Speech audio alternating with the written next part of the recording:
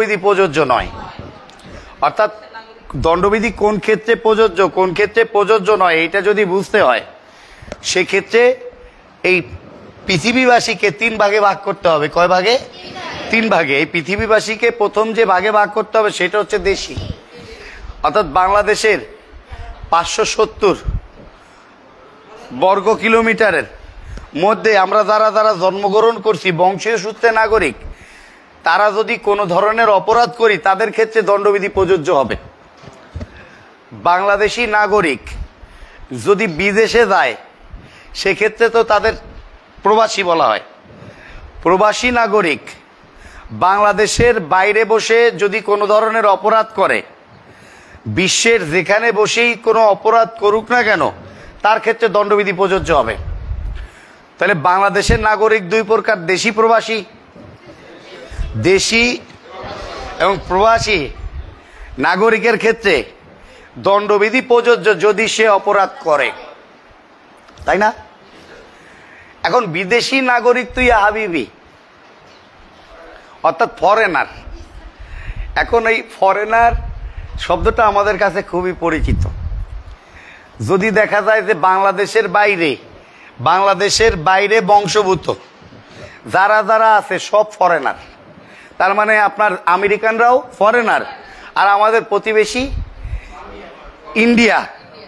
ইন্ডিয়ার বাইরে ভারত আছে, তাও ফরেনার আচ্ছা তার মানে বিদেশি নাগরিক বিদেশে বসে যদি অপরাধ করে, তার ক্ষেত্রে দণ্ডবিধি প্রযোজ্য নয়।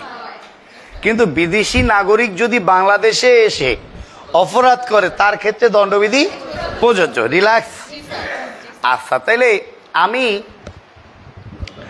আমি হইলাম পাঠান। তাহলে পাঠান মাথা দেখাইছেন পাকিস্তানি না বাংলাদেশি আমি? পাকিস্তানি।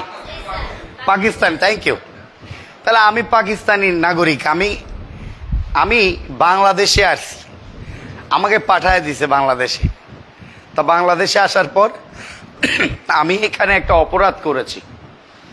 সেক্ষেত্রে আমার বিরুদ্ধে কি দণ্ডবিধি প্রয়োগ করা যাবে? প্রযোজ্য। কে কোথা থেকে দেখছেন জানাবেন? নিশু আলাইকুম আসসালাম। লাইভটি শেয়ার করে দিবেন। এবং কে কোথা থেকে দেখছে জানাবেন? আমাকে শুনতে পাচ্ছেন কিনা? নিশু, একটু জানাবেন। তাহলে বাংলাদেশের নাগরিক যুক্তরাজ্যে বসবাস করে। কোথায়? যুক্তরাজ্যে। বা কানাডা? বা চীনা, চায়নায় বসবাস করে। তাহলে এই বসবাস করা অবস্থায় সে ওইখানে বৈশা কোনো ধরনের অপরাধ করতে পারে? ওই অপরাধীর ক্ষেত্রেও বাংলাদেশের দণ্ডবিধি প্রযোজ্য হবে। এখন কালকে একটা ঘটনা বলতেছিলাম যে ইন্ডিয়াতে একটা ঘটনা ঘটছে, বাংলাদেশের নাগরিকের বিষয়ে। তখন ওইখানে সাংবাদিক খুব সুন্দর করে বিশ্লেষণ করে বলতেছিল যে এখন কি হবে আমরা জানি না এদেরকে আমরা গ্রেপ্তার করার চেষ্টা করব। যে পালের গোদাটা যুক্তরাষ্ট্রে আছে সেই পালের গোদাটারে আনাও আমরা চেষ্টা করব। কিন্তু বন্দি বিনিময় চুক্তি আমাদের সকল দেশের সাথে নাই। সকল দেশের সাথে বন্দি বিনিময় চুক্তি না থাকায় আমরা পালের গোদারারে আনার চেষ্টা করব। অর্থাৎ বন্দি বিনিময় চুক্তি আমাদের স্বাধীনতার পরপর আয়ারল্যান্ডের সাথে ছিল। স্বাধীনতার পরপর। আয়ারল্যান্ড এমন একটা দেশ যে প্রায় দেড়শো বছরের মতো স্বায়ত্তশাসিত পরিচালিত হয়েছে। এরপর স্বাধীনতা অর্জন করে। একটাই পিকুলিয়ার দেশ। স্বায়ত্তশাসিত থেকে স্বাধীনতা লাভ করেছে। সেই আয়ারল্যান্ডের সাথে আমাদের বন্দি বিনিময় চুক্তি ছিল স্বাধীনতার পরপরই।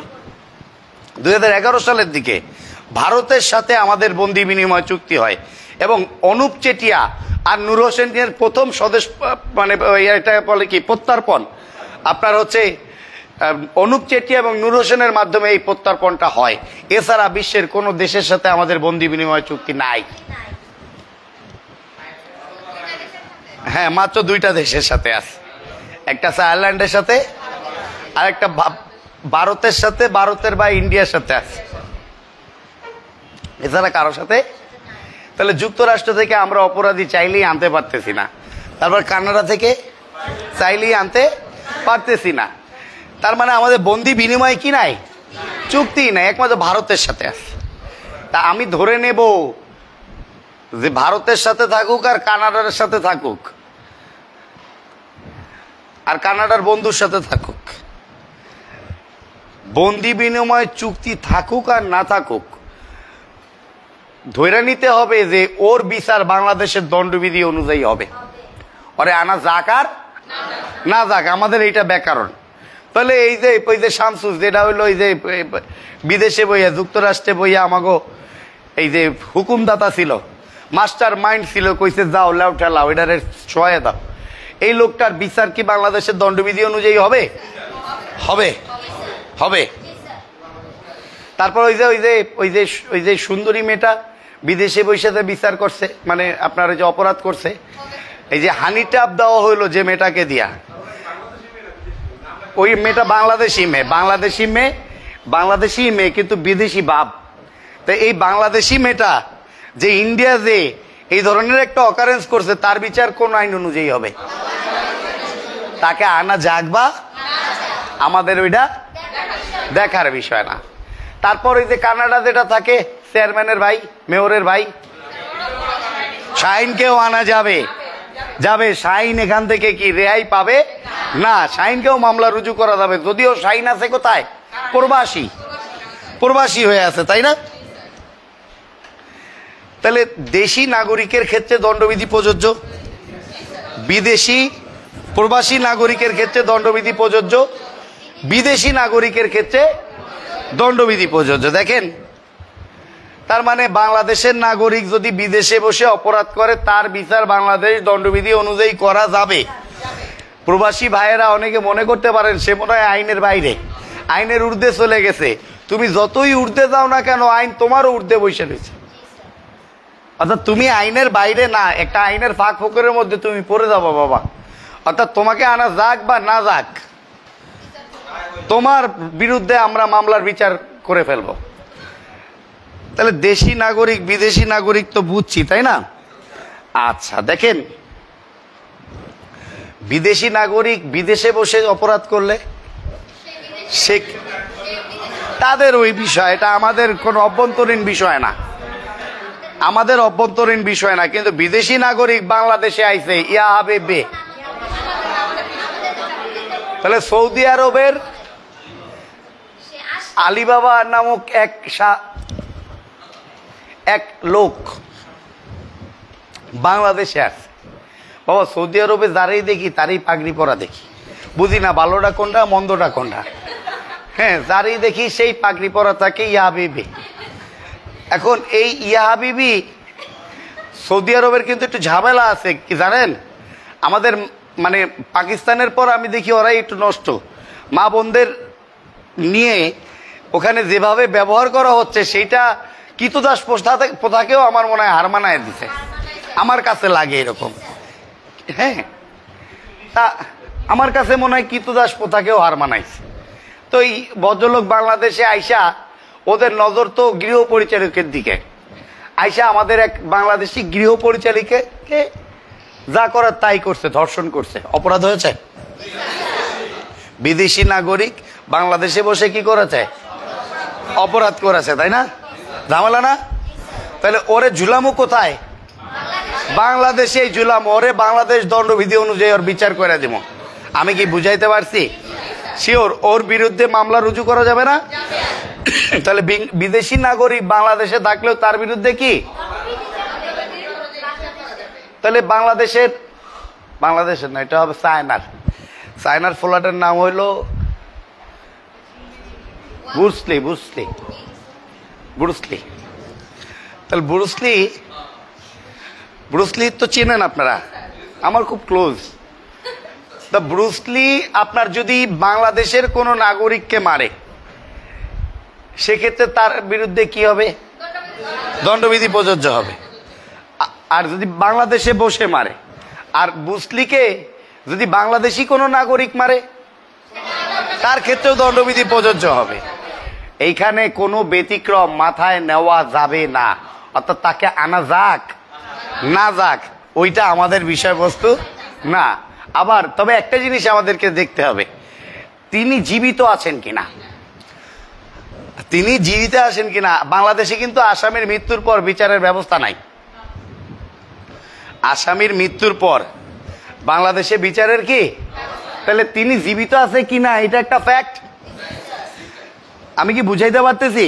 তিনি যদি মহিলা যান, সেক্ষেত্রে তার বিচার কিন্তু আমরা দণ্ডবিধি করতে পারবে না, কারণ অ্যাভয়েড করে দেবে। মামলায় আসামির আসামির মৃত্যু বিচারকে অ্যাভয়েড করবে। কিন্তু যদি সে জীবিত থাকে, তার বিচার এই বাংলাদেশের দণ্ডবিধি অনুযায়ী হবে। কারণ আসামির অনুপস্থিতিতে বিচার করা যায় তিনশো উনচল্লিশ দ্বারা ফৌজদারি কার্যবিধি। তিনশো উনচল্লিশের বি আসামির অনুপস্থিতিতে বিচার করা যায়। আসামির উপস্থিত থাকা বাধ্যতামূলক নয়। আসামির অনুপস্থিতিতে বিচারের ক্ষেত্রে কমপক্ষে দুইটি বাংলা পত্রিকায় বিজ্ঞপ্তির মাধ্যমে তাকে হাজির হওয়ার নির্দেশ দিয়ে তার বিচারিক কার্যক্রম আমরা শুরু করব। ওয়ালাইকুম আসসালাম। মানে ভালো আছেন ইনশাল্লাহ তাহলে দেখেন বাংলাদেশের নাগরিক যুক্তরাজ্যে বসে, লেখেন না, বাংলাদেশের নাগরিক যুক্তরাজ্যে বসে উগান্ডার একজন নাগরিককে হত্যা করে।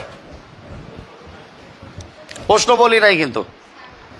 বাংলাদেশের একজন নাগরিক যুক্তরাজ্যে বসে উগান্ডার একজন নাগরিককে হত্যা করে।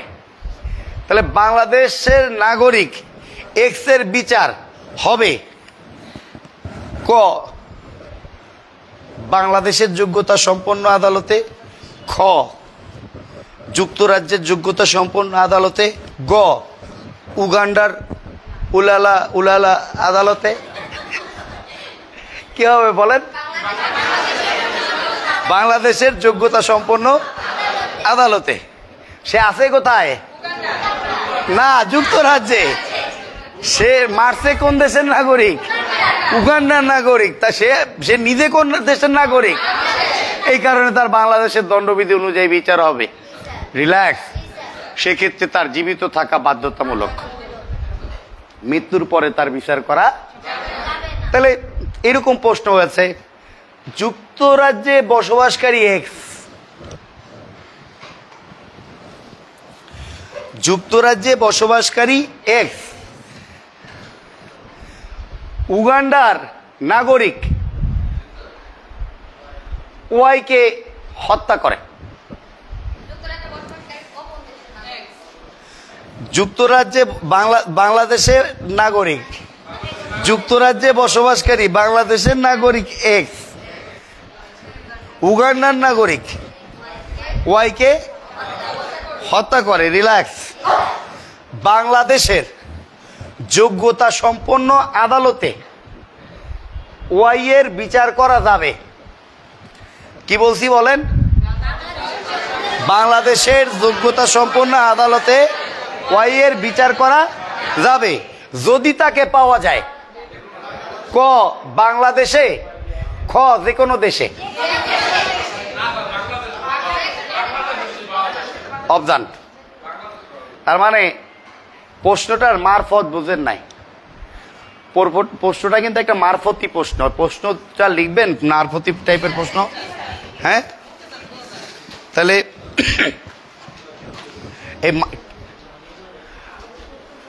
মানে ভালো নাই, শরীরটা খুব খারাপ। তারপর আগের মতো শরীরে ই পাই না। এনার্জি নাই। ওইটাই কইতে চাইছিলাম। পাশ থেকে ডাবিং করিয়ে দিস তো। আগের মতো শরীরে বল পাই না। ঠাওর করতে পারি না। মনটা বড় কাতর, কি লিখতেছেন? লেখেন না, কি লিখতেছেন? বাংলাদেশ কাটেন। বাংলাদেশের পিছনে অবদান দিয়ে কিন্তু নাই অনেকে, শেষ হয়ে গেছে। তাহলে যুক্তরাজ্যে বসবাসকারী এক্স দেখেন?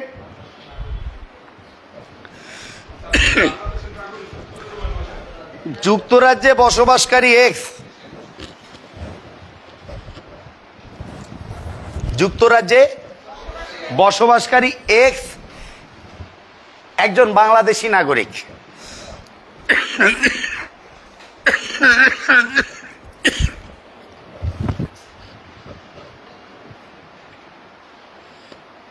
নুর আলম সিদ্দিকি, ওয়ালাইকুম আসসালাম। লাইভটি শেয়ার করে দেবেন। মনির ভাই প্রেস চাঁদপুর থেকে দেখছেন লাইভটি শেয়ার করে দিবেন।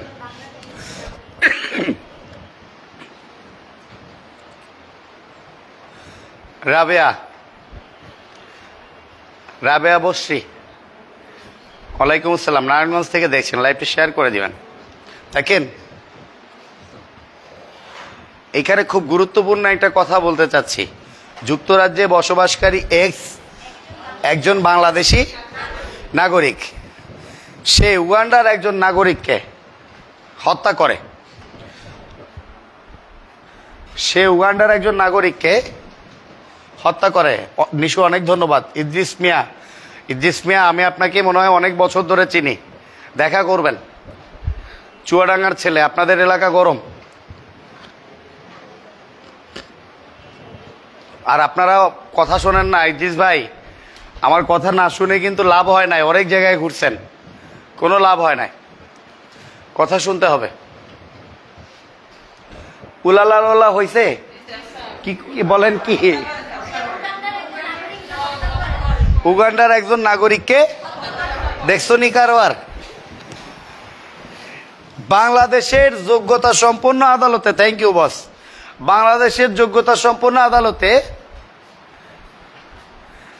বাংলাদেশের যোগ্যতা সম্পন্ন আদালতে,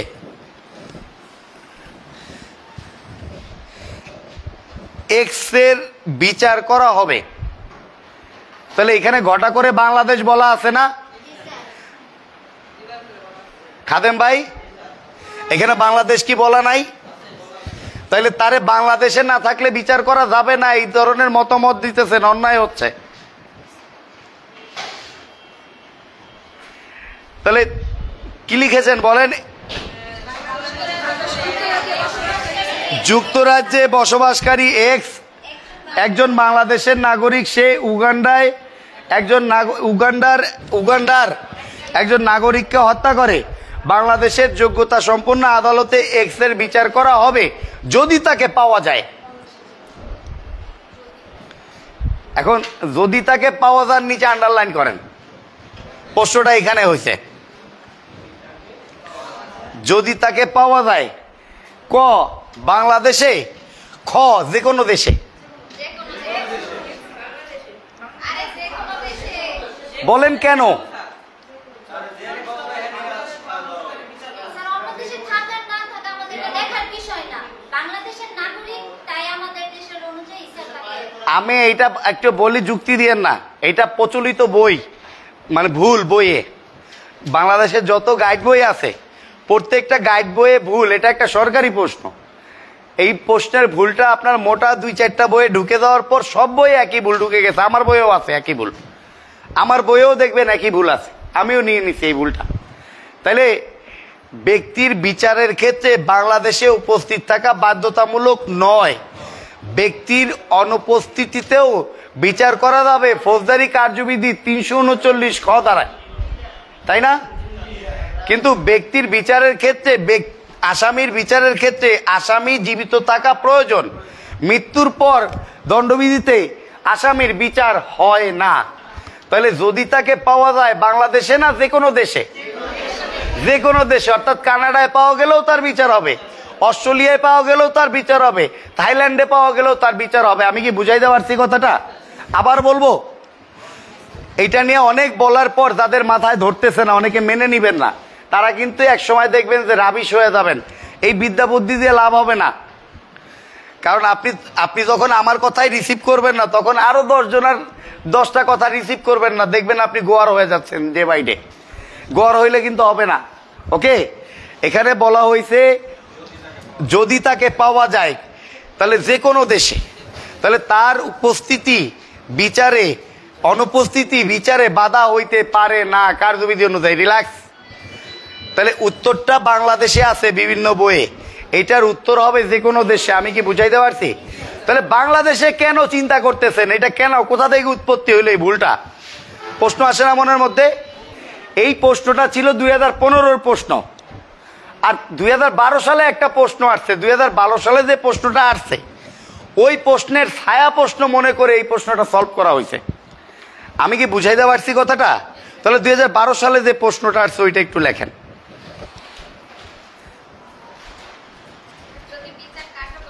হুম। বাংলাদেশের মিজান যুক্তরাজ্যে। বাংলাদেশি মিজান। হ্যাঁ মিজান। মিজানের জায়গায় করিম লেখেন, আবুল লেখেন। সোমাদ্দার জোমাদ্দার যা ভালো লাগে লেখেন। বাংলাদেশি মিজান যুক্তরাজ্যে একটি খুন করে। বাংলাদেশি মিজান যুক্তরাজ্যে হালকা বেশি দেয় না, চাপ দেয় নাই।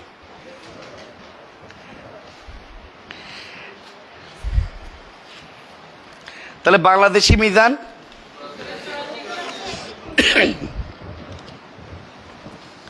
বাবা, তাহলে যুক্তরাজ্যে একটি যদি খুন করে, সেক্ষেত্রে প্রশ্নটা হচ্ছে, মিজানের বিচার এবং শাস্তি হবে। দেখেন, মিজানের বিচার এবং শাস্তি হবে।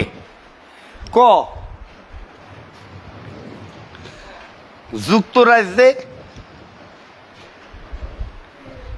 খ। বাংলাদেশে গ। উগান্ডায়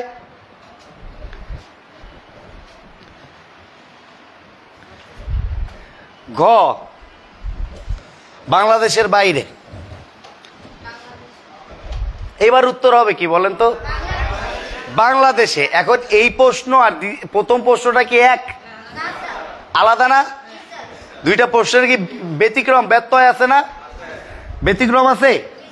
তাহলে প্রথম প্রশ্নটা হয়েছে যে, যদি তাকে পাওয়া যায়, অর্থাৎ তার জীবিত থাকা কি বাধ্যতামূলক? দ্বিতীয় প্রশ্নটা হয়েছে তার বিচার কোন দেশে হবে? বাংলাদেশে, আর প্রথম প্রশ্ন তো বইলাই দিছে, বাংলাদেশের যোগ্যতা সম্পন্ন আদালতে তার বিচার হবে। প্রশ্নের মধ্যে বইলা দিছে না? বাংলাদেশের যোগ্যতা সম্পন্ন আদালতে তার বিচার হবে, যদি তাকে পাওয়া যায় যে কোনো দেশে। আমি কি বুঝাইতে পারছি? শিওর তাহলে একটা ত্রিভুজ আঁকেন এবার, বাংলাদেশের পাশ দিয়া। হ্যাঁ ত্রিভুজ আঁকেন চতুর্ভুজ না, ত্রিভুজ। হ্যাঁ তিন দিকে যারা বোঝে তারা হলো ত্রিভুজ, আর চার দিকে যারা বোঝে তারা, আপনাদের অনেককে আমি ফেসবুকে নক করেছি, এখানে যারা আছেন। একটু উত্তর দিয়েন। একটু ফ্রেন্ড বানাই এলাম, আছে না ফেসবুক ফ্রেন্ড আত্মীয়তা বানাইছি হ্যাঁ মেসেঞ্জারে অনেককে নক করেছি, একটু একটু হ্যালো মাইনেন। ওরকম আপনাকে দেই নাই আপনি তো রেগুলার মানে দিছি, আপনাকেও দিছি। আচ্ছা তাহলে জাগে জাগে দিছি। যারা পান নাই, তারা গ্রুপে জয়েন করবেন তাহলে আগে। আগে আমাদের গ্রুপে জয়েন করবেন, অনেকে গ্রুপে নাই পাই না? গ্রুপে থাকলে ভালো গ্রুপে ঢুকে যাবেন। যাই হোক, কি যেন বলতে চাইছিলাম ত্রিভুজ বাবা ত্রিভুজ দেখলেই এখন আমার কিন্তু এই মনে হইতেছে যে দাজ্জাল পিছনে পিছনে ঘুরতেছে। এর মধ্যে আবার আবিষ্কার করলাম, শয়তানেরও পরিবার আছে। শয়তানের মার নাম জানলাম, বাবার নাম খবিস আবার শয়তান, শয়তানের ছয়, নয় পুত্র। নয় পুত্রের মধ্যে এক পুত্রের কাজ হচ্ছে বিদ্যাকে ধ্বংস করা। শয়তানের নয় পুত্রের এক পুত্রের কাজ হচ্ছে বিদ্যাকে ধ্বংস করা। পৃথিবী থেকে যত বিদ্যা আছে ধ্বংস করে দিবে সে। আমাদের সাথে তো দুই চারটা গড়েই ঠিক আছে? আমরা তো এমনি, আমরা এমনি আরও দুই চারজনকে কিন্তু অস হ্যাঁ সমস্যা নাই। তাহলে ত্রিভুজ। ত্রিভুজে দেশি, প্রবাসী, বিদেশি, লেখেন। হ্যাঁ উপরে দেশি। হ্যাঁ না না, দুই দুই কোণার এক কোনায় প্রবাসী দিয়ে দেন। প্রবাসী, বিদেশি। দেশি, প্রবাসী, বিদেশি।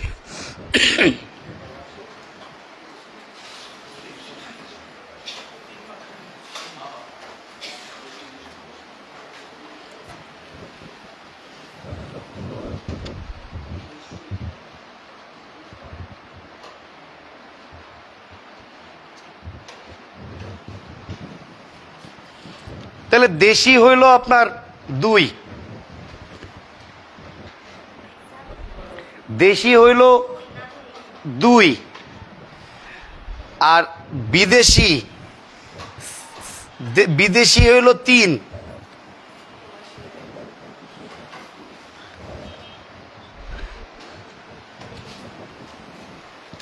আর চার হইল প্রবাসী। লিখেছেন? তাহলে দেশি হইল বাংলাদেশের অভ্যন্তরে অপ- অপরাধীর ক্ষেত্রে দুই। দেশি মানে বাংলাদেশের অভ্যন্তরে অপরাধীর ক্ষেত্রে। আর তিন হইল বাংলাদেশের বাইরে সংগঠিত অপরাধীর ক্ষেত্রে। বাহিরে সংগঠিত অপরাধীর ক্ষেত্রে। রিল্যাক্স। রিল্যাক্স। আচ্ছা।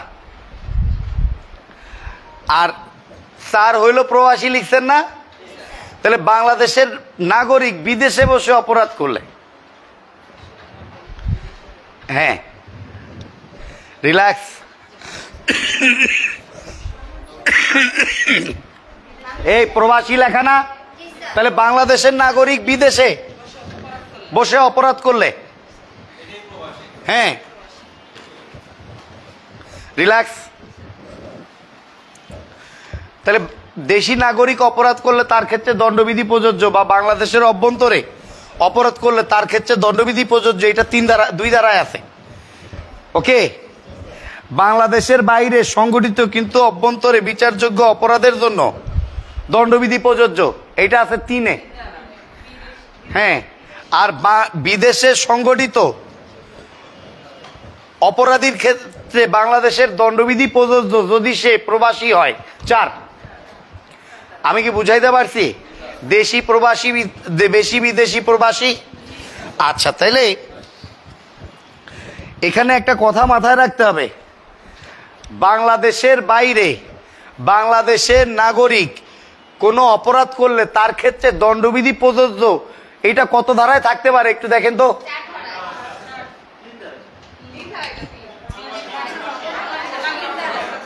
আবার বলি প্রশ্নটা।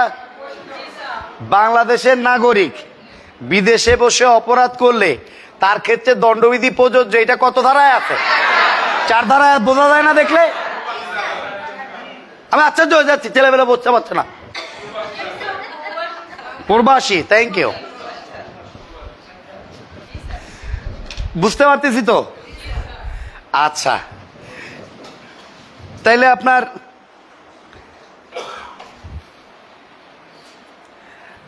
বিদেশি নাগরিক বাংলাদেশে বসে অপরাধ করলে তার ক্ষেত্রে? তিন ধারা। বাংলাদেশি নাগরিক বাংলাদেশে বসে অপরাধ করলে? তাহলে আমি যখন দেশে বৈশা দুই ধারা। আমি তখন প্রবাসে বৈশা বিদেশি নাগরিক যখন, তিন ধারা। তাহলে এটা কিন্তু মানে পিডানের কথা বলছি, এটা কি বুঝছেন? শাস্তি এক্সিলেন্ট তাহলে দুই, তিন, চার, শেষ। বাবা, তাহলে ওই যে শাহিন, শাহিনের বিচার কোন আইন অনুযায়ী হবে? শাহিন তো যুক্তরাজ্যে। বাংলাদেশের দণ্ডবিধি অনুযায়ী হবে। ওই সায়ন্তী, লায়লা না জানে কি মায়েরার নাম, ওর বিচার কোন আইন অনুযায়ী হবে? বাংলাদেশের দণ্ডবিধি অনুযায়ী হবে। তারপরে যে ধরা পড়ছে, ডিবির কাছে যেসব পোলা পাইন ওদের বিচার কোন আইন অনুযায়ী হবে? বাংলাদেশ দণ্ডবিধি অনুযায়ী হবে। তাহলে বাংলাদেশে ডিবির কাছে যেসব পোলা পাইন ধরা পড়ছে, ওরা কত ধারায় ধরা পড়ছে? দুই ধারায়। আর এই যে আপনার শাহিনকে আনার চেষ্টা করব, চারে। আর বিদেশি নাগরিক যদি অস্ত্র শস্ত্র দিয়ে ই করে, রিল্যাক্স, আমি বুঝাইতে পারছি। বাবা, জাহাজ তো আকাশে ওরে তাই না? পুরো জাহাজ। আকাশে। তাহলে জাহাজ যখন আকাশে ওরে নাম কি? পুরো জাহাজ আর পানিতে যখন চলে তখন পানি জাহাজ হবে? শুধু জাহাজ হবে। তাই এই জাহাজ হলো অ্যারোপ্লেন। যখন উড়বে, আর যখন পানিতে চলবে, দুইটা জিনিসের মধ্যেই মিল আছে। জাহাজও রেজিস্ট্রি করতে হয়। উড়োজাহাজও রেজিস্ট্রি করতে হয়। জাহাজও দেশের বাইরে যায়। উড়োজাহাজও দেশের বাইরে যায়। জাহাজও বাণিজ্যিক কাজে লাগে। উড়োজাহাজও বাণী এগুলো লেখার দরকার নাই। লেখেন না। লেখেন না লেখেন না। ঠিক আছে। তাহলে জাহাজও কি বলেন? রেজিস্ট্রি করতে হয়। উড়োজাহাজও কিন্তু বাংলাদেশে পার্সোনাল বিমান মনে হয় দুই একজনের থাকতে পারে, আমার জানা নাই। আছে? আনবিরের আছে। তাহলে বাংলাদেশে বল আঁকা থাকে বিমানের মধ্যে। কোন সময় লাগলে টাগলে পরিটা যেন না যায় আর কি, দেখে। হ্যাঁ। জাহাজের মধ্যে দেখবেন এমবি লেখা থাকে, MB. MB Nuruddin, MB Abdullah, MB Salauddin এই যে এমবি ওবায়দুর রহমান, আবার ওইগুলা বললেন না না না ওই কালোর সাথে এইগুলা না। তাহলে এইগুলা লেখা থাকবে যখন, তখন ধরে নিতে হবে, ও রেজিস্ট্রিকৃত। তাহলে বাংলাদেশের কোনো জাহাজ, উড়োজাহাজ, পৃথিবীর যেখানেই থাকুক না কেন, তা বাংলাদেশের ভ্রাম্যমান দ্বীপ বলে বিবেচিত হবে। বাংলাদেশের কোনো জাহাজ। উড়োজাহাজ পৃথিবীর যেখানেই থাকুক না কেন, তা বাংলাদেশের ভ্রাম্যমান দ্বীপ বলে পরিগণিত হবে। আবার বলব?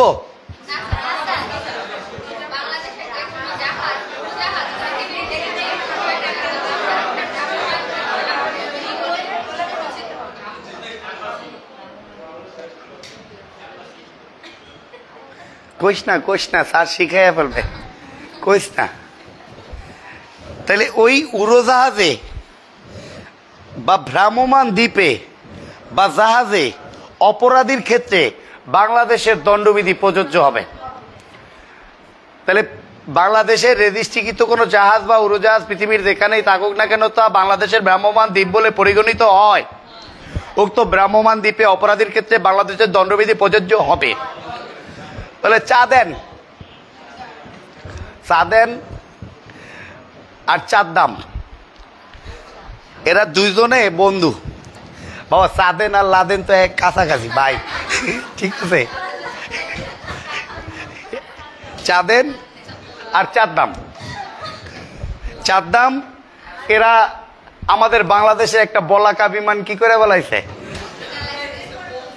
দুষ হাইজ্যাক করে ফেলছে, একটা ধ্বংসের মধ্যে যাইতেছে, খালি খালি বিধ্বংস। হাইজ্যাক করছে হাইজ্যাক বলতেছে, যা আছে নিয়ে নাও। তা বলতেছে, আমরা নিব কি? আপনাদের হাতেই তো অস্ত্র। বলে, খবর দাও। তোমার বাড়িতে খবর দাও। টাকা পয়সা পাঠাও। হয়েছিল না এরকম ঘটনা? দাস, টাকা পয়সা পাঠাও। সোমালিয়া ধরছিল না? তাহলে ধরেন ওই সোমালিয়ার ওই জাহাজটাতে আমাদের চার দাম ঢুকে গেছে। হ্যাঁ চার দাম। তা চার দাম ঢুকে যাওয়ার পরে বলতেছে, যা আছে সব আমার, এখন থেকে এইটা আমি। আর চার দামটা ধরেন ওইখানে আমি উপস্থিত আমি বললাম তুমি বাংলাদেশ আক্রমণ করছ, তোমার কত বড় সাহস? চার দাম কই কই আমি তো জাহাজে আক্রমণ করছি। ধৈর্য নিতে হবে যে উনি বাংলাদেশকে আক্রমণ করেছে। ধৈর্য নিতে হবে, পৃথিবীর যেখানেই থাকুক না কেন, বাংলাদেশের রেজিস্ট্রিকৃত জাহাজ বা উড়োজাহাজ? তা বাংলাদেশের ভ্রাম্যমান দ্বীপ বলে বিবেচিত হয়। উক্ত ভ্রাম্যমান দ্বীপের অপরাধীর ক্ষেত্রে বাংলাদেশের দণ্ডবিধি প্রযোজ্য হবে। কত ধারা অনুসারে হবে? চার ধারা অনুসারে হবে। দে প্রবাসী। প্রবাসী হয়েছি না? জাহাজ কি বাইরের মানুষের কাছে দিব নাকি আমার রেজিস্ট্রি করা জাহাজ? তাহলে ভ্রাম্যমান দ্বীপের অপরাধীর ক্ষেত্রে দণ্ডবিধি প্রযোজ্য কত ধারায়? চার ধারাতে। তাকে বাংলাদেশে আনা যাক। না যাক, তার ক্ষেত্রে এই বিধান প্রযোজ্য নয়। আবার একটা দেখেন, আপনারা কি জানেন, এই যে তথ্য ফাঁস করে দেয়, আমেরিকার তথ্য ফাঁস করে দিয়ে এক পাগলা নায়ক হয়ে গেছে। তারপর হইল যে অস্ট্রেলিয়ার তথ্য পাস করে আর এক পাগলা নায়ক হয়েছে। দেখছেন, এই পাগলাগুলা এই পাগলাগুলা দেখা যায় যে বিভিন্ন দূতাবাসে যাইয়া ওঠে। হেরাও কয়, আমরা ওরে বুঝে নিলাম, অর্থাৎ যার যার দূতাবাস, তার তার নিজস্ব দেশ। এইটাই আইন। অর্থাৎ বাংলাদেশে যদি সৌদি আরবের দূতাবাস থাকে, ধরে নিতে হবে ওইটা সৌদি আরবের এলাকা। যদি আমেরিকার দূতাবাস থাকে, ধরে নিতে হবে ওইটা আমেরিকার এলাকা। যদি কানাডার থাকে,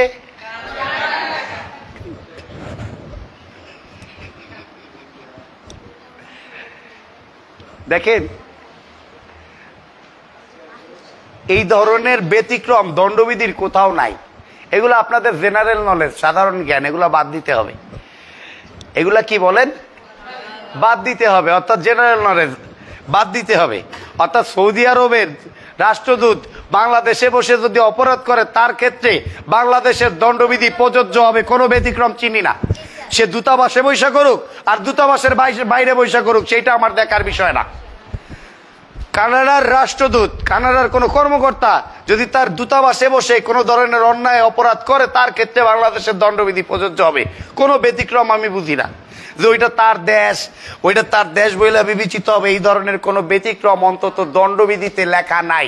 আর যা দণ্ডবিধিতে লেখা নাই, তা জন্য আমরা বলে দেবো যে এই ক্ষেত্রে দণ্ডবিধি প্রযোজ্য। রিল্যাক্স তাহলে সৌদি আরবের রাষ্ট্রদূত, তার দূতাবাসে বসে একজন গৃহ পরিচারিকাকে ধর্ষণ করেন। উক্ত রাষ্ট্রদূতের বিচার কোন আইন অনুযায়ী হবে? ক ক, দূতাবাস বাংলাদেশের আইনের আওতার বাইরে। খ, বাংলাদেশ দণ্ডবিধি অনুযায়ী বিচার হবে। এইটা না যাই না গেলে সাইকোলজিক্যালি কিন্তু প্রথমটা অনেকে দাগায় দিবে। কারণ সাইকোলজিক্যালি দাগাবে না, কারণ এটাও তো একটা আইন। কিন্তু দণ্ডবিধিতে নাই। আমি বুঝাইতে পারছি কথাটা। তার মানে বাংলাদেশের নাগরিক, সে রাষ্ট্রপতি বাদ দিয়ে সবার ক্ষেত্রে দণ্ডবিধি প্রযোজ্য, যদি অপরাধ করে। বিদেশের নাগরিক, সবার ক্ষেত্রে দণ্ডবিধি প্রযোজ্য। বাংলাদেশে বসে যদি সে অপরাধ করে। প্রবাসী নাগরিক, সবার ক্ষেত্রে দণ্ডবিধি প্রযোজ্য। যদি সে বাংলাদেশ যদি সে অপরাধ করে প্রবাসে বসে তাহলে দণ্ডবিধি কোন ক্ষেত্রে প্রযোজ্য তো আল্লাহর রহমতে আমরা বুঝতে পারছি, তাই না? যে দণ্ডবিধি মোটামুটি সবার ক্ষেত্রেই প্রযোজ্য, তাই না? এখন, এইখানে কিছু উদাহরণ আছে এই যে চার দ্বারাতে। চার দ্বারাতে যে উদাহরণগুলো এই বইটায় তুলে দিছে, এগুলা এটা গেজেটের উদাহরণ না কিন্তু। অর্থাৎ তিন, চার, পাঁচে আপনারা যদি কোনো উদাহরণ পান, সেই উদাহরণগুলো কিন্তু গেজেটের উদাহরণ না, গাইড বইয়ের উদাহরণ তুলে দিছে, না বুঝা। আমি বুঝাইতে পারছি কথাটা, এগুলা কিন্তু গেজেটের উদাহরণ নয়। গেজেট কিন্তু এগুলা না, এগুলা নিজেরা বানাইছে। এই কারণে এই উদাহরণগুলো এইভাবে পড়বেন না, এইভাবে ধরবেনও না। ভুল হবে। ঠিক আছে? কারণ এটা গেজেট না। বানাইছে। তারপরে এখানে একটা প্রশ্ন দেখা যাইতেছে ক একজন ক বাংলাদেশের একজন নাগরিক, সে উগান্ডায় খুনের অপরাধ সংগঠিত করে, বাংলাদেশের যে কোনো স্থানে, যেখানে তার সন্ধান পাওয়া যাবে, খুনের দায়ে তাকে সেখানেই বিচার করা যাবে, এটা কত ধারায় বলা আছে? চার ধারায় বলা আছে। চার ধারা যেহেতু সে প্রবাসী, আর যদি বলা হয়তো বাংলাদেশে তার বিচার করা যাবে বুঝলাম, প্রশ্নটা তো এখানে হয় নাই। তার বিচার করা যাবে যদি তাকে বাংলাদেশে, তার বিচার করা যাবে বাংলাদেশে যদি তাকে পাওয়া যায় যে কোনো দেশে। এখানে কিন্তু কোন দেশে বিচার হবে চাই নাই। খুলনায় বসবাসকারী ব্রিটিশ নাগরিক ঘ চট্টগ্রামে একটি হত্যাকাণ্ড সংগঠিত করে।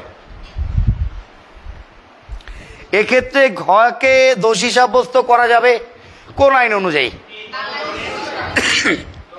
বাংলাদেশের দণ্ডবিধি অনুযায়ী।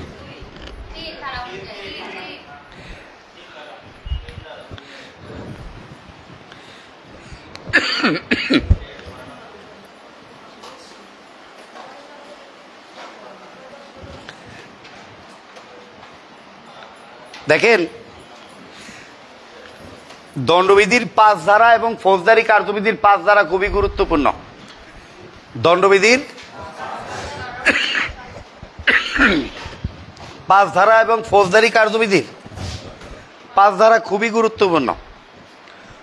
তাহলে ফৌজদারি কার্যবিধির পাঁচ ধারায় কি আছে, কেউ বলতে পারবেন?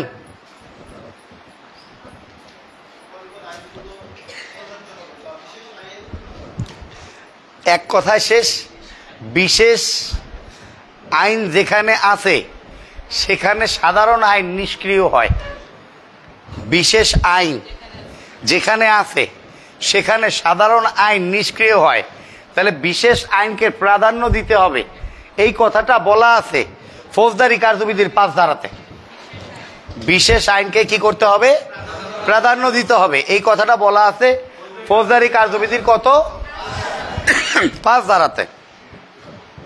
বিশেষ আইন যেখানে উপস্থিত, সাধারণ আইন সেখানে নিষ্ক্রিয়, তাই না? বিশেষ আইন যেখানে উপস্থিত, সাধারণ আইন সেখানে নিষ্ক্রিয়, এই কথাটা কিন্তু মাথায় রাখতে হবে। কত ধারায় আছে? তাহলে জুয়েল এইভাবে বলা যায় না যে আমি যেখানে উপস্থিত, তুমি সেখানে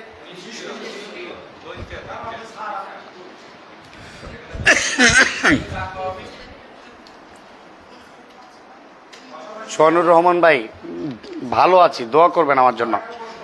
রাজবাড়ি থেকে দেখছেন মেঘা, অনেক ধন্যবাদ। নুর আলম সিদ্দিক, অনেক ধন্যবাদ। গিয়াসুদ্দিন ভাই, ঢাকা থেকে দেখছেন, অনেক ধন্যবাদ। বলেন।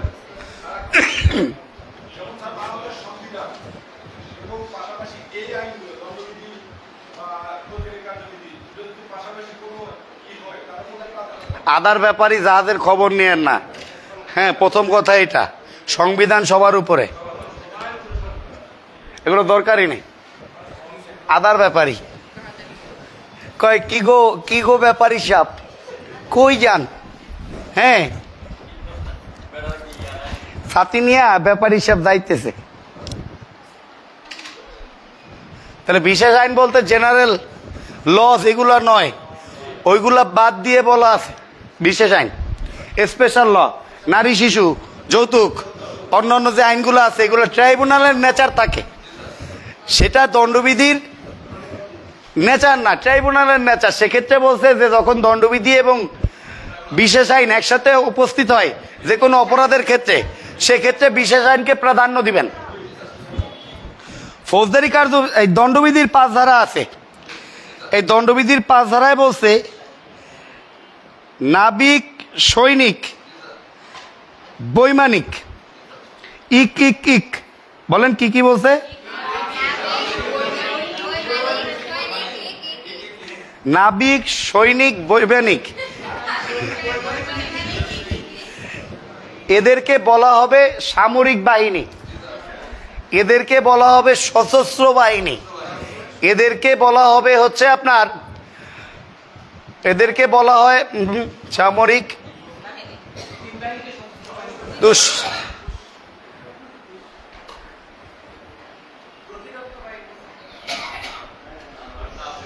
দিলেন, শেষ করে দিলেন।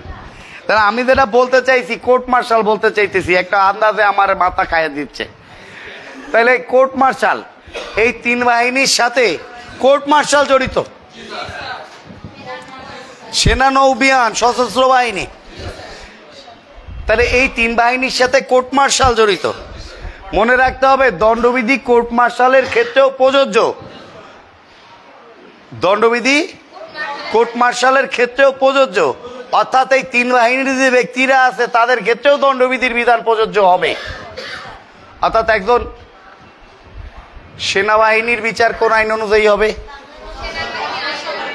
আমি এই এগারোয়ারি ব্যাটালিয়ান, এখন এই পুস্তকগুলা ক্যান্টনমেন্ট, এখানে আমার থাকার সৌভাগ্য হয়েছিল। বাবা আর্মি ছিলেন। তা আমি গেস্ট হাউসে আছি, গেস্ট রুমে আর কি। দুইতলা, পাঁচতলা খুব করা, রক, খুব করা করি। ভিতরে যাই, যাইতে দেয় না। এখন আমার যাইতেই হবে, উপরে কি দেখতে হবে, বলে গেস্ট আছে। এখন আমি আবার মনে মনে চিন্তা করি, আমি যে গেস্ট, আমার উপরেও আবার এইখানে গেস্ট আছে। মানে একটা কেমন, গেস্টের মধ্যে গেস্ট দেখলে কিন্তু মাথা খারাপ হয়। হ্যাঁ ধরেন আপনি এক জায়গায় গেস্ট হয়ে গেছেন, সেখানে নতুন আরও গেস্ট আসলে অস্বস্তি না? অস্বস্তি লাগে। তা গেস্টের মধ্যে গেস্ট আমার মনে মনে খুটখুটানি। যে এই গেস্টটা কে এত আমি কোনো গার্ড পাই না এনি গার্ড পাইতেছে, কেমন কেমন জানি লাগে। হ্যাঁ পরে গেলাম, যাওয়ার পরে ওইখানে আটকা ছিল, নাম না বলি যেহেতু পাবলিক এই বিষয়। খুব নাম করা একজন লোক ওইখানে আটকা ছিল। সে ধরা পড়ে গেছে। কারণ আর্মিতে ছোটোখাটো চুরি করে এড়ানো সম্ভব না। করলে পুকুর চুরি করে ফেলতে হবে, অর্থাৎ পুকুরের অস্তিত্ব খেয়ে দেন, সমস্যা নাই। কিন্তু ছোটোখাটো চুরি করা সম্ভব না, ধরা পড়ে যায়। সে ওরকম ধরা পড়ছে, আসলে উনি আর্মির মধ্যে থেকে নৈতিক স্থলন ঘটিয়েছে। নৈতিকতা হারিয়েছে, নৈতিক স্থলন ঘটিয়েছে। এই কারণে ওনাকে কোর্ট মার্শাল দেওয়ার জন্য এখানে সুন্দর করে রাইখা দিয়েছে। গেস্ট হিসাবে যেহেতু অফিসার মানুষ, খাইবে কি? অফিসার মানুষটা তো আর জীবনযাত্রার মান কঠিন করে ফেলা যায় না বিচারের আগে। তাই তারা গেস্ট রুমে আটকায় রাখছে, ওইটা গেস্ট হাউস বানায় ফেলছে। সে নৈতিক স্থলন ঘটিয়েছে পেশাগত আচরণে। এরকম পেশাগত আচরণের যদি কোনো নৈতিক স্থলন ঘটে, সেক্ষেত্রে তিন বাহিনী, সেনা, নৌ, বিমান বাহিনীর বিচার হয় কোর্ট মার্শালে আর কোর্ট মার্শাল দণ্ডবিধি দ্বারা পরিচালিত হয়, আমি কি বুঝাইতে পারছি? শিওর বুঝাইতে পারছি? তাহলে একটা সতর্কতা লেখেন। এখন এখন।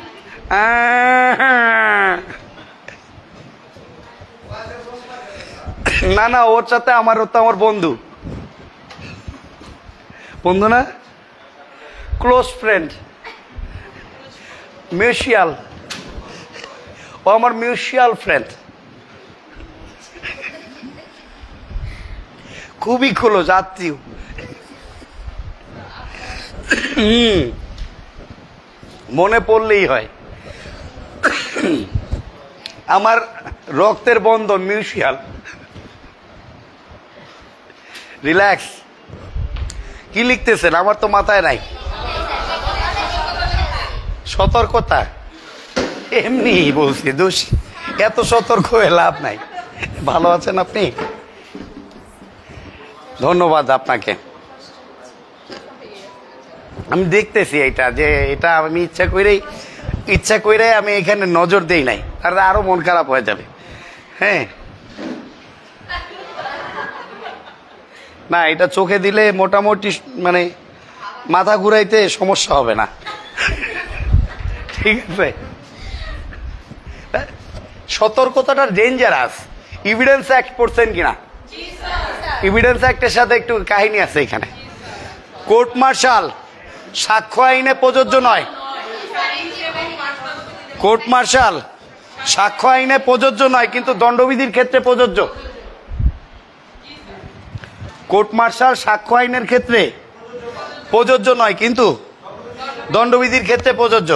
অর্থাৎ সেনা নৌ বিমান বাহিনীর সদস্যগণের বিচার বাংলাদেশের দণ্ডবিধি অনুযায়ী হবে এবং এই বিচার কোর্ট মার্শাল অনুযায়ী হবে।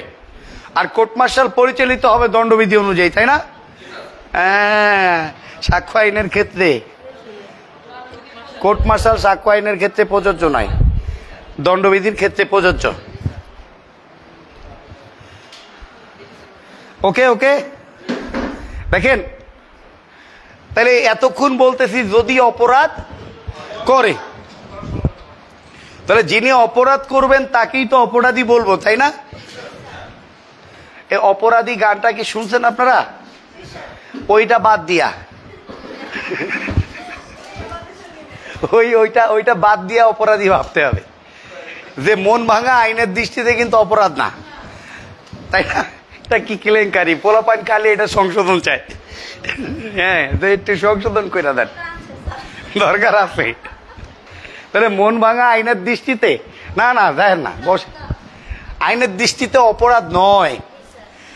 তাহলে সেক্ষেত্রে আইনে যা করলে শাস্তি পাবে, তা যদি করে, আইনে যা নিষেধ করা হয়েছে, সেক্ষেত্রেও শাস্তি পাবে, তা যদি না করে, তাহলে অপরাধ হচ্ছে? তাই না? তাহলে আমরা কি একথা নীলিমা নীলাকাশের মতো করে শঙ্খের মাঝে মুক্তার ন্যায় বলতে পারি কিনা? দেখেন তো, কোনো কাজ করা বা না করা থেকে বিরত রাখার জন্য আইনে যা শাস্তিযোগ্য, লেখেন না। কোনো কাজ? করা বা না করা থেকে বিরত রাখার জন্য। আইনে যা শাস্তিযোগ্য, তাকে অপরাধ বা অফেন্স বলে। বলা যায় না? আবার বলেন।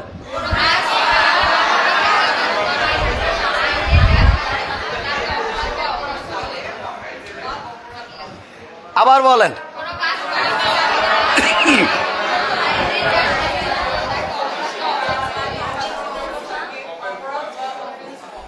সেদিন একটা ছবি তুলছি, একজনের সাথে সেলফি ভাইরাল হয়ে গেছে সেলফি ওইটা। চিন্তা করতেছে আপনার সাথে এরপর একটা সেলফি নিব। ঠিক আছে? এই যে এরকম। হইছে না বলেন একটা তোলপাত হ্যাঁ। আমি তো নিজেও ভয় পাই, আমি আরেকজনের ভয়ও দেখাইতে পারব। সমস্যা নেই। তাহলে কোনো কাজ করা, এইখানেই কিন্তু ঝামেলাটা মানে করলে শাস্তি আছে। আবার কি? না করলেও শাস্তি আছে। সেটা যদি আপনি লঙ্ঘন করেন, ভঙ্গ করেন, আপনি অপরাধী। আইনের চোখে আপনি অপরাধী। আপনার বিচার দণ্ডবিধি অনুযায়ী করা যাবে। দেখেন, অতিকায় হস্তি লোপ পাইয়াছে কিন্তু তেলাপোকা আজও টিকিয়ে আছে। টিকিয়ে থাকাই সার্থকতা। তাহলে দণ্ডবিধিতে অপরাধ বা অফেন্সের কোনো সংজ্ঞা দেওয়া হয় নাই। অপরাধ বা অফেন্সের সংজ্ঞা ফৌজদারিতে আছে। কত ধারায় আছে বলতে পারবেন? অপরাধ কত? চারের এক মধ্যাহ্ন মধ্যাহ্ন না? মধ্যাহ্ন না, দন্তন্য। কোনটা আসল ন? দন্তন্য। মধ্যাহ্ন মধ্যাহ্নটাই হবে। হইল, মিলায় নিয়েন, অপরাধ না নিয়ে। তাহলে দণ্ডবিধিতে অপরাধের সংজ্ঞা আছে? সংজ্ঞা আছে কোন আইনে? তাহলে কোন আইনে অপরাধের সংজ্ঞা প্রদান করা হয়েছে? কোন আইনে অপরাধের সংজ্ঞা দেওয়া হয় নাই? দণ্ডবিধিতে। আচ্ছা রিল্যাক্স। দেখেন তাহলে দণ্ডবিধিতে অফেন্স বা অপরাধ আছে কোথায়? চল্লিশ ধারাতে আছে, অপরাধের উপাদান আছে, অপরাধের স্তর আছে, অপরাধের শ্রেণি আছে, অপরাধের বৈশিষ্ট্য আছে। দণ্ডবিধিতে অপরাধের সংজ্ঞা নাই, কিন্তু অপরাধের উপাদান বৈশিষ্ট্য লেখা যায় না? এইটুক লেখা না কেন? দণ্ডবিধিতে দণ্ডবিধিতে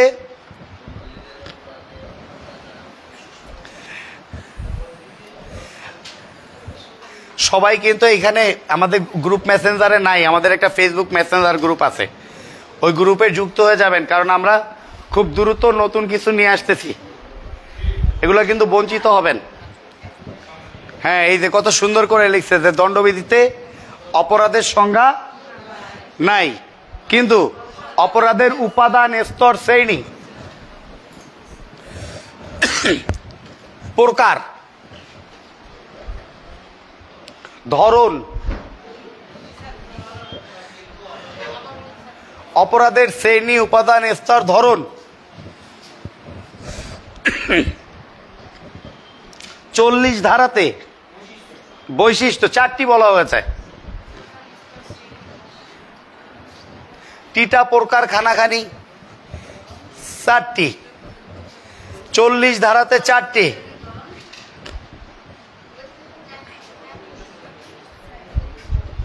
চারটি। যথা। যথা দিয়া কলমটা রাখেন। শহীদ হয়ে গেছেন না লিখতে লিখতে? কলম রাখেন রাখেন। তাহলে যদি জিজ্ঞেস করা হয়, অপরাধের উপাদান আছে কত ধারায়? অপরাধের শ্রেণি আছে কত ধারাতে? কয় ধরনের অপরাধ? চার ধরনের অপরাধ। অপরাধ কয়টা? কয়টি অপরাধ? কয় খানা অপরাধ? কয় খানি অপরাধ? কয় শ্রেণির অপরাধ? অপরাধের উপাদান কয়টি? অপরাধের ধরন কয়টি? অপরাধের বৈশিষ্ট্য কয়টি? অপরাধের ধরন কত ধারায় আছে? অপরাধের সংজ্ঞা? দণ্ডবিধিতে নাই। ধন্যবাদ। কি যে মজা আরেক পেলে তাহলে দেখেন, আমাদের ইসলামী আইনের সাথে দণ্ডবিধির আইনের কিছুটা সাংঘর্ষিকতা আছে। যেমন, ইসলামী আইনে বলা আছে, এই ইসলাম শুনলেই অনেকের মাথাটা ই হয়ে যায় যে আল্লাহ বাড়াবাড়ি হয়ে যায় কিনা। ইসলাম নিয়ে বাড়াবাড়ি করতে নিষেধ করছে মানে আরেকজনের ফাড়া দিয়ে কলেমা পড়াইতে নিষেধ করছে। এইটা বাড়াবাড়ি করতে নিষেধ করছে। ইসলাম নিয়ে তর্ক বিতর্ক জায়েজ। হ্যাঁ ইসলাম নিয়ে যত গবেষণা করবেন তত ভালো। কিন্তু কইছে আরেকজনের গলায় ফাড়া দিয়ে কলেমা পড়াইস না। বেশ কয়, একজন শুনে গেছে হুজুরের দ্বারে যে একজনের পড়াইলেই হবে খালি, মুসলমান বানাইলেই হবে। যাই গলায় ছুরি ধরে পড়ছে। যে এবার কলেমা খান বেহেস্ত যাম এইটা করতে নিষেধ করছে। তো দেখেন, ইসলামের সাথে, মুসলিম আইনের সাথে তো সাংঘর্ষিক জানেনি, কিছু কিছু জায়গায়। কিছু কিছু জায়গায় ভয়ঙ্কর সাংঘর্ষিক। হুজুরেরা বিবাহ সংক্রান্ত বিষয়ে এই সাংঘর্ষিকতা খুব ভালো বোঝে। কিন্তু ওদিকে যে বোনদের হক দেওয়া, ওইটা এই ব্যাপারে হালকায় মশলা আছে। হ্যাঁ এইখানে ঝামেলা আছে হ্যাঁ। তা আমি যে কথাটা বলতে চাই, এটা গান শুনছেন না না জেনে ভুল করিলে মাফ করে আল্লাহ। জেনে ভুল করে যারা, মমতা দাপা তারা। শুনেন না মমতা দাপার এই গানটা? ছিয়ে ছিয়ে ছিয়ে ছিয়ে আপনি আপাকে অবমাননা করেন না। এই গানটা সহি না। আইনের অজ্ঞতা আইন ভঙ্গের কারণ হইতে পারে না। তাহলে এখানেও একটা সাংঘর্ষিকতা আছে। আইনের অজ্ঞতা আইন ভঙ্গের কারণ হতে পারে না। আমি জানি না যে একজনের মারিয়া লাইলে আমারে জুলাই দেবে। হুজুর, এই কারণে মারিয়া লাইছি। এই কথা বলা যাবে না। কাকে জানলে আগে কইতেন? তাহলে মারতাম না। কি একটা মানে আল্লাদে গদ গদ, এগুলা করা যাবে? না। আরেকটা ব্যাপার হুজুররা বয়ান করবে যে আমার আল্লাহ কত ভালো। আপনি একটা অপরাধ করার চিন্তা করছেন, সেই অপরাধটা যতক্ষণে না করতেছেন, ততক্ষণে আমার আল্লাহ এইটা ফেরেস্তাদের লেখতে নিষেধ করছে। তাই না? বলছে যতক্ষণে এই পাগলা অপরাধটা না করে, ততক্ষণে তুই লেখিস না। ও মরার আগ পর্যন্ত একটু তবা করে নেয় কিনা, সেই কাহিনীটা ওর একটু বুঝতে দিস। ও কোনো না কোনো সময় আমার পথে ফেরত আসতে পারে, ওরে তবা করার একটা সুযোগ করে দিস। পাগলা, যতক্ষণ অপরাধ না করে, ততক্ষণ ওর আমল নামায় এই অপরাধটা লিখিস না। আছে না ইসলামে? কিন্তু আমাদের আইন বলতেছে যে, তুমি মনে মনে একটু হাউস করছ, ইচ্ছা করছ নিয়াত করছ, ওইটাই অপরাধ। অপরাধ করার নিয়াত ইসলামী আইন অনুযায়ী অপরাধ নয়, কিন্তু অপরাধ করার নিয়াত প্রচলিত আইন অনুযায়ী অপরাধ। আমি কি বুঝাইতে পারছি কথাটা? অর্থাৎ আমি একটা অপরাধ করার অভিপ্রায় করেছি, ইচ্ছা করেছি, সেই অপরাধটা না করলেও আমি কি করেছি? অপরাধী করে হয়েছি। তাহলে অপরাধী হইলেও একটা গান আছে।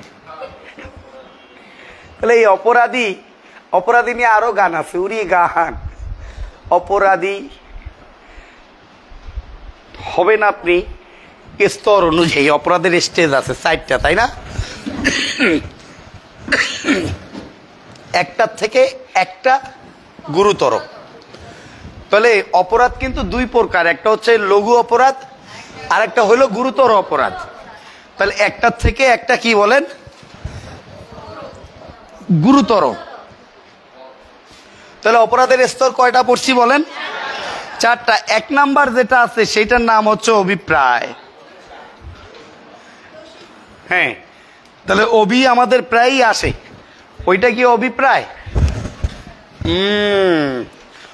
অভিপ্রায়। বা ইচ্ছা। হয়, নিয়াত হান্ড্রেড পার্সেন্ট নিয়াত। বা ইন্টেনশন তাহলে আমাদের বাংলাদেশের একটা ফোলা যাত্রাবাড়ি বাড়ি, ওর নাম হইল অনেক। এই ফোলাটা আমেরিকায় গেছে। অনেক কষ্ট করে ওর মা বাপে ওরে আমেরিকা পাঠাইছে। আমেরিকা পাঠানোর পরে ছেলেটার মধ্যে একটু ইসলামী ভাবাদর্শ ঢুকে গেছে। ছেলেটা কিছুদিন পরে আইএসের সদস্য হয়ে গেছে। এবং এবং অ্যারেস্ট তো হয়েছে একুশ বছরের জেলও হয়েছে এই ছেলে। ছেলেটা মনে মনে একটু পাগলার, ওই বলে না, পাগলায় তিতা মিডা বোঝে না, পাগলার জিলাপি দিও না। এই পাগলায় মনে মনে ওইটাও চুরাই দেবে, সেই স্বপ্ন দেখা শুরু করে দিছে বিদেশে। মনে মনে কি করবে সে? ওইটাও জুড়াই দেবে। সে উড়ায় নাই। উড়ায়ের চে- উড়ানোর চেষ্টাও করে নাই, কিন্তু সে মনে মনে এই অভিপ্রায় করেছে, ইচ্ছা করেছে, তাই তাকে অপরাধী হিসাবে গণ্য করা হবে। আমি বুঝাইতে পারতেছি কথাটা? অর্থাৎ অপরাধ না করলেও শুধু ইচ্ছা করাটাই অপরাধ। তাহলে অপরাধী হইতে গেলে কি? অপরাধের অপরাধ সংগঠন করার প্রয়োজন আছে? আবার আরও একটা প্রশ্ন হয় এরকম। অপরাধী হতে গেলে কি অপরাধে অংশগ্রহণ করার প্রয়োজন আছে? না মাস্টার মাইন্ড হয়েও তো ওই যে যুক্তরাজ্যে বৈশাখ এক নম্বর আসামি, হুকুমের আসামি হয়ে যাবে না। তার মানে সহযোগী হয়েও অংশগ্রহণ না করেও অপরাধী হওয়া যায়। আবার অপরাধ না করেও কি? অপরাধী হওয়া যায়, শুধুমাত্র হাউস করলেই হয়। ইন্টেনশন থাকলেই হয়। তাহলে অপরাধের উপাদান একটা হইল অভিপ্রায় বা ইচ্ছা বা ইন্টেনশন দুই,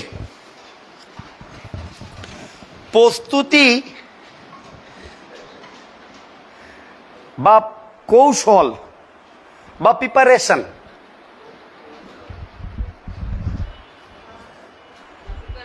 হ্যাঁ। ইয়াস প্রস্তুতি বা কৌশল বা প্রিপারেশন বাবা, আপনারা কি ওই যে ওই ওই ভণ্ডটার নাম কি? ওই ভণ্ডটার নাম হইল হুমায়ুন ফরিদি আর হইল এটিএম শামসুজ্জামান। দেখেছেন? দেখেছেন আপনারা? চুরি করতে যাওয়ার সময় হালকা একটু গায়ে তেল মাখায়। তারপর ওই যে দেখা যায় যে জঙ্গলে যায়, কালি দেয়। এ রে চ্যালেঞ্জ, এই ছেলেটা কোথা থেকে এসেছে? ভাব তো ভালো। ঠিক আছে। তার মানে এটাকে কি আমরা প্রস্তুতি বলতে পারি না? হ্যাঁ? এটাকে প্রস্তুতি বলতে পারি? বা দেখা যায় যে আপনি ঘরের, আপনার যদি এখানে আসার ইচ্ছা থাকে, একটা প্রস্তুতি আছে না? রান্না বান্না আছে। তারপর হলো খাওয়ারও ব্যাপার আছে। রাজা কয়, আমি তো রান্না করি না, আমি খাই। তাহলে আসার আগে খাওয়াটাও কিসের অংশ? বাবা, প্রস্তুতিটাও অপরাধ দণ্ডবিধি অনুযায়ী। কৌশলটাও কি বলেন? অপরাধ। তিন, উদ্যোগ। উদ্যোগ উদ্যোগ বা অ্যাটেম উদ্যোগ উদ্যোগ অ্যাটেম অ্যাটেম টু মার্ডার শোনেন নাই? উদ্যোগ অ্যাটেম বা চেষ্টা।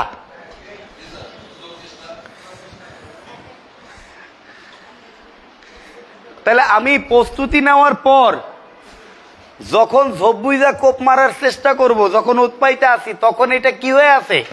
উদ্যোগ হয়ে আছে বা চেষ্টা হয়ে আছে। দণ্ডবিধিতে উদ্যোগ নেওয়া বা চেষ্টা করাও একটা অপরাধ। এরপর তো অনুষ্ঠান বা সংগঠন করা বা অপরাধটি করা অপরাধ। চার, অনুষ্ঠান বা সংগঠন। অনুষ্ঠান বা সংগঠন। বিরক্ত হচ্ছেন? তাহলে অনুষ্ঠান করাটা কি? মানে এটা কাজ করে ফেলছে একটা। তাহলে আমি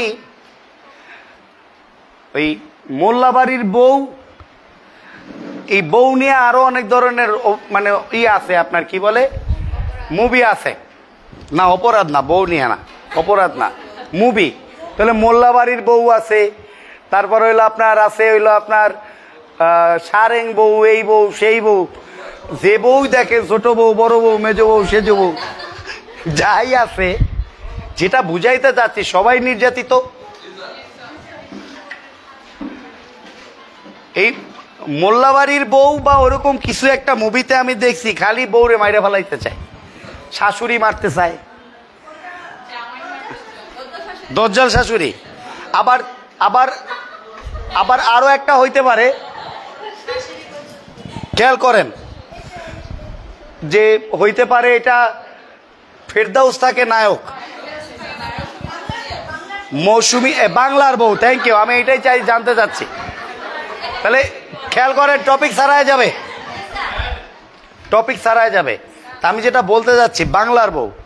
বাংলার বউতে দেখা যাচ্ছে যে শাশুড়ি তার বোনের মেয়ের সাথে একটু বিয়ে দিতে চাইছে, ফেরদাউসকে।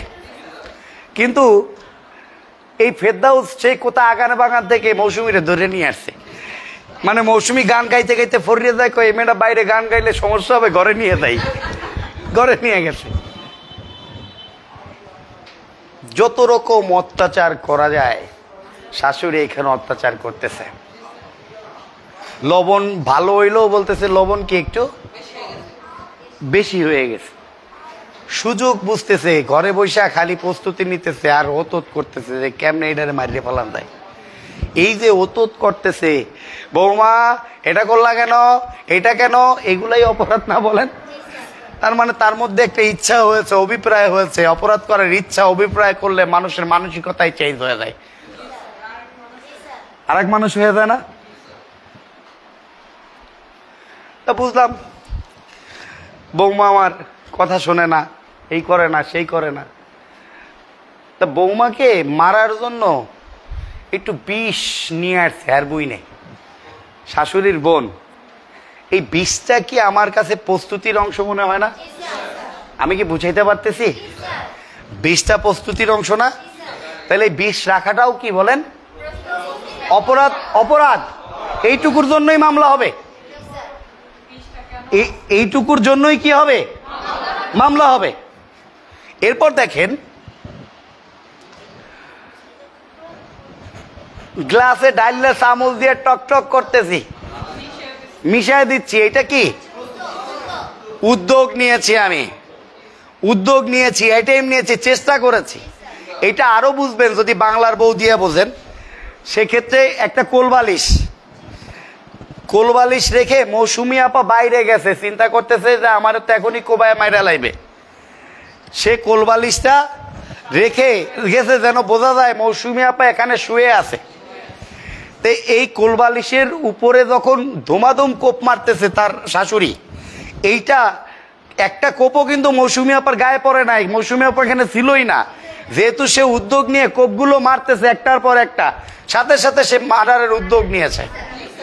আমি কি বুঝাইতে পারতেছি অ্যাটেম্প টু মার্ডারের উদ্যোগ নিয়েছে সে? তার মানে তার ওইখানে থাকতে হবে অ্যাটেম্প টু মার্ডারের জন্য এমনও কোনো কথা না। আগারটা মার্ডারের ছিল কিনা? রিল্যাক্স আর যদি ওইখানে থাকতো আর মৌসুমি আপা মরে যাইতো, তাহলে তো অনুষ্ঠানই হয়ে যেত, সংগঠন হয়ে যেত। তাহলে এই চারটা স্তরের সবগুলো একসাথে ঘটতে হবে এমন কোনো কথা নাই। এই চারটে স্তরের যে কোনো একটা ঘটলেই অপরাধ বলিয়া গণ্য হবে। আমি কি বুঝাইতে পারছি? শিওর এটা একটা ভালো কাজ হয়েছে আমি এইমাত্র খেয়াল করলাম, তাই আজকে মনে করছিলাম টাইম মতো ক্লাসে আসছি কিন্তু এখনও দশটা বেজে আছে।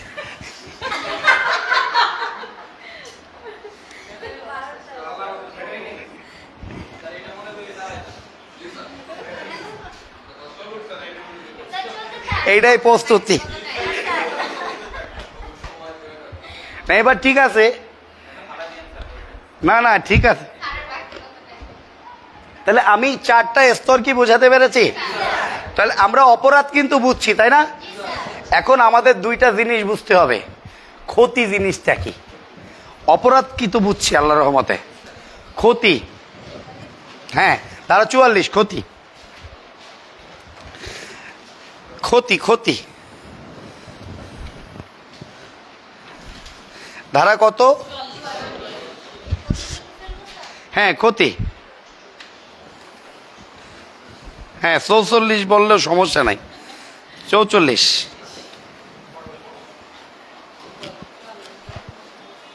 তাহলে ক্ষতির উপাদানও চারটি।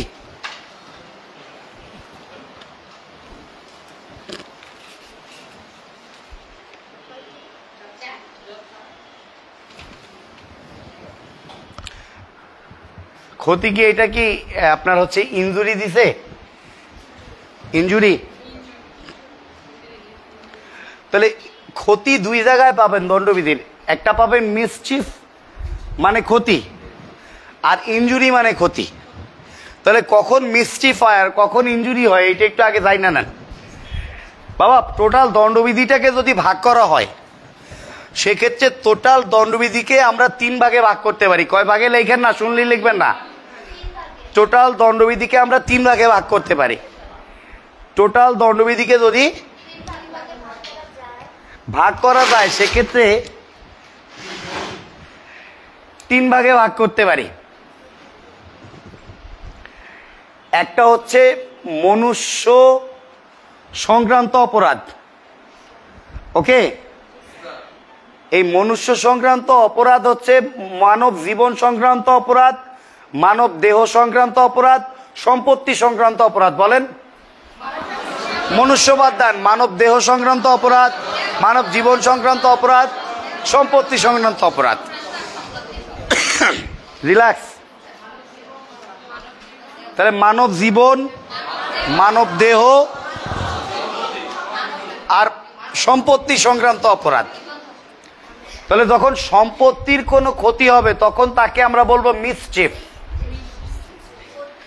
যখন সম্পত্তির কোনো ক্ষতি হবে তখন আমরা তাকে বলব মিসচিফ আর যখন দেহের কোনো ক্ষতি হবে, তখন তাকে বলব ইনজুরি রিল্যাক্স তাহলে ইনজুরিও মানে ক্ষতি মিসচিফও মানে কি? ক্ষতি। যখন দেহের ইনজুরি হবে, তাই? আর যখন আপনার হচ্ছে বস্তুর উপযোগিতা নষ্ট হয়, আর দেহের উপযোগিতা নষ্ট হইলে আচ্ছা। আমি এই কারণে বুঝাইতে চাচ্ছি যে চুয়াল্লিশ ধারাতে ইনজুরি আছে।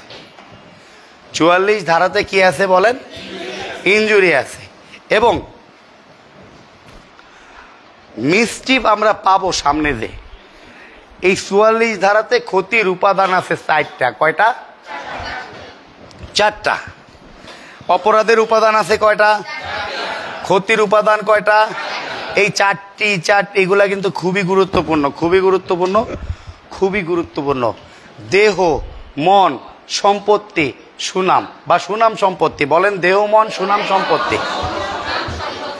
তাহলে দেহের ক্ষতি করা যায়, মনের ক্ষতি করা যায়, সুনামের ক্ষতি করা যায়, সম্পত্তির ক্ষতি করা যায়। দেহ, মন, সুনাম, সম্পত্তি। তাহলে কয়ভাবে ক্ষতি করা যাবে? কি কীভাবে ক্ষতি করা যাবে? দেহ, মন, সুনাম। মনের ক্ষতিটাকে একটু বোঝেন। মনের ক্ষতি আসলে কীভাবে করা যায়? মানসিক অশান্তি দিয়ে যায়। কালকে একটা নতুন রোগের কথা শুনলাম। মানসিক রোগ। আর রোগটার নামই ভুলে গেলাম, কি জানো? আহ এইটটি পার্সেন্ট মানুষ নাকি এই রোগে ভুগতেছে। কিন্তু জানে না, মানসিক নির্যাতন কীরকম? ধরেন আপনার সঙ্গীকে আপনি ডোমিনেটিং আচরণ করেন, তার মনোবলটা ভেঙে দেন। এমন এমন কথা বলেন যেন তার মনোবল ভেঙে যায়। এক সময় সে মনোবল হারায় এসে যেন নিঃস্ব হয়ে যায়। এইরকম একটা দেখলাম। তা এইটা যেমন মানসিক অপরাধ, মনের একটা অপরাধ, তেমনিভাবে রেপ মনের ক্ষতির সর্বোচ্চ বড় উদাহরণ। মেয়ের ইচ্ছায় যখন যৌন সঙ্গম করা হয়, তখন কিন্তু রেপ হয় না। এই ইচ্ছাটা তো মন দিয়ে হচ্ছে, তাই না? তাহলে মেয়ের ইচ্ছায় যখন যৌন সঙ্গম করা হচ্ছে, তখন রেপ হচ্ছে না, কিন্তু অনিচ্ছায় যখন করা হচ্ছে, সেটা কিন্তু রেপ হয়ে যাচ্ছে। এটা শারীরিক এবং মানসিক ক্ষতি। এবং মানসিক ক্ষতির সর্বোচ্চ বড় উদাহরণ কিন্তু এটা। দেহ, মন সুনাম? কয়ে দেব না কিন্তু? কব? কয়া দেব না কিন্তু? কত টাকা হাতে? আমরা আমরা একটু দেখি সবাই সবাই এরকম করে তাহলে দেহ, মন, সুনাম, সম্পত্তি। কয়ভাবে ক্ষতি করা যাবে? কি কীভাবে দেখেন স্থান আর বিষয়। স্থান আর বিষয় খুবই গুরুত্বপূর্ণ, এটা এই কারণে গুরুত্বপূর্ণ। দণ্ডবিধি কিছু কিছু স্থানের জন্য মাঝে মাঝে প্রয়োজন হয়। যেমন বেআইনি সমাবেশে স্থানে দেয় না, আবার ব্যক্তি বিশেষের উপরেও দিতে পারে।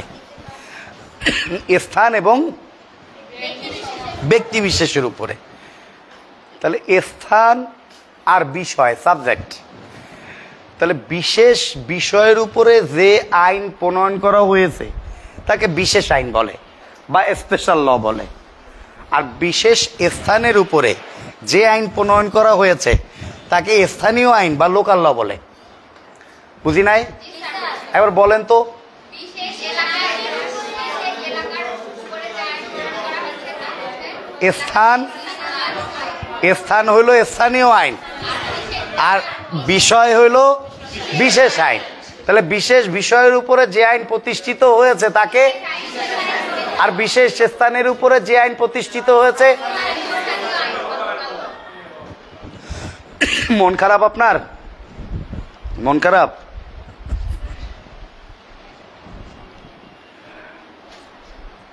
আপনাকে, আপনি কি রেগুলার আসেন না?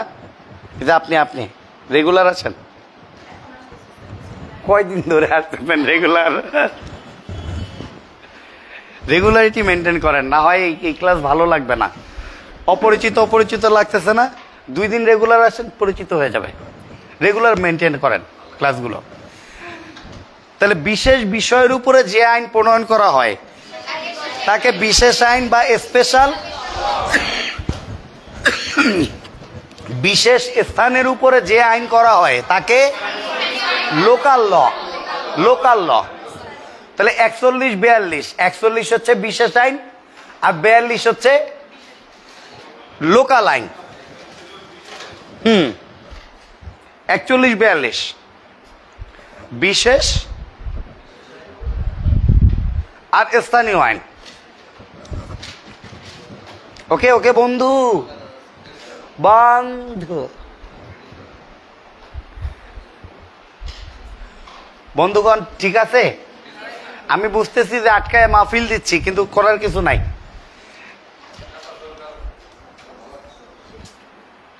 তাহলে বিশেষ বিষয়ের উপরে যে আইন প্রতিষ্ঠিত হয়েছে তাকে বিশেষ স্থানের উপরে যে আইন প্রতিষ্ঠিত হয়েছে তাকে বাবা পার্বত্য চট্টগ্রামে দেখবেন একটু বেতন টেতন বেশি আছে, সরকারি চাকরি করলে। কারণ ওই জায়গায় যায়, জীবনে ঝুঁকি নিয়ে, কোন সময় কেনু টেনু খাইয়া মরিয়ে যায়, সুযোগ নাই ওখানে। তার উপরে আবার পার- পার্বত্য এরিয়া, দুর্গম এরিয়া, মশা, মাছি। ওইসব এলাকার জন্য স্থানীয় আইন বানানো হয়, আমি বুঝাইতে পারছি। উপজাতিদের জন্য দেখবেন কিছু কিছু স্থানীয় আইন আছে, আবার বিশেষ আইনও আছে। তাহলে বিশেষ আর স্থান দিয়ে এটা বুঝতে হবে। তাহলে স্থানীয় আইন কত ধারায় আছে? স্থানীয় আইন? বিয়াল্লিশ। আর বিশেষ আইন? আচ্ছা আপনারা তো এমনি ভালো। মানে এত ভালো আবার ভালো না। এখন একটা টেকনিক শেখেন, টেকনিক। দণ্ডবিধিতে যখন শাস্তি লিখবেন। গতকালকেই বলছিলাম, দণ্ডবিধিকে মৌলিক দুইটি খণ্ডে ভাগ করা হয়েছে। একটা হলো শাস্তিযোগ্য অপরাধ বা উপাদান বা সংজ্ঞার ধারা। শাস্তিযোগ্য অপরাধ বা উপাদান বা সংজ্ঞার ধারা। আর একটা হচ্ছে শাস্তির ধারা, চার্জের ধারা, মামলার দ্বারা এই দুই ভাগে ভাগ করেছে। তাহলে যদি প্রশ্ন করা হয়, চুরি কত ধারায়? শাস্তিযোগ্য অপরাধ? তিনশো আঠাত্তর ধারায়। আর চুরির শাস্তি আছে কত ধারায়? তিনশো উনাশি চুরির মামলা হবে? তাহলে চুরি কত ধারায় শাস্তিযোগ্য অপরাধ? তিনশো আঠাত্তর না তিনশো উনাশি তিনশো আঠাত্তর অর্থাৎ যেটাই সংজ্ঞার ধারা, যেটাই উপদানের দ্বারা সেটাই শাস্তিযোগ্য অপরাধের দ্বারা তাহলে চুরি কত ধারায়? শাস্তিযোগ্য অপরাধ হয়েছে। তিনশো আটাত্তর ধারায়। চুরির শাস্তি আছে কত ধারাতে? তিনশো উনআশি ধারাতে। ঠিক এরকম ভাবে সিকোয়েন্স বজায় রেখে গেছে দণ্ডবিধি যখন আমরা পড়ব। কিন্তু ছয় ধারাতে একটা কথা বলছে যে কতিপয় বিষয়সমূহ ভালো কইরা বুঝে যান, কতিপয় ব্যাখ্যাসমূহ ভালো কইরা বুঝে যান, বা অন্য ক পর্যন্ত কিছু কিছু বিষয়ের ব্যাখ্যা আছে, কি বলতে কি বুঝবেন? কি বলতে? কি বুঝবেন? এইরকম একটা ব্যাপার আছে। যেমন এখানে বলা হয়েছে, মহিলা কত বছর বয়সের হয়?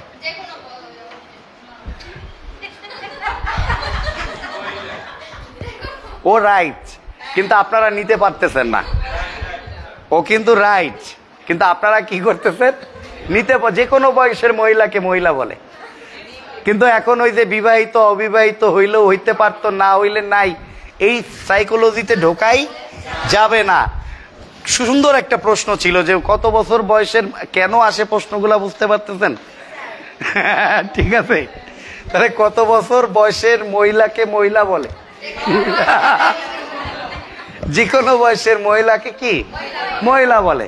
তো এখান থেকে এই কারণে প্রশ্নগুলো আসে। তাইলে সবগুলো আমার জানার কোনো দরকার নাই। কিছু কিছু জিনিস আমরা জানব, এইটা দিয়ে দিব আপনার। এই বইটা কি পড়ছেন? ভালো না এটা, এই বইটা ভালো না। না, ওটাতে লাভ হয় নাই। অনেকেরই দেখছি ওইটা শেষে ওইটার প্রতি, ওইটা পড়তে পড়তে ওইটার প্রতি একটা মায়া তৈরি হয়।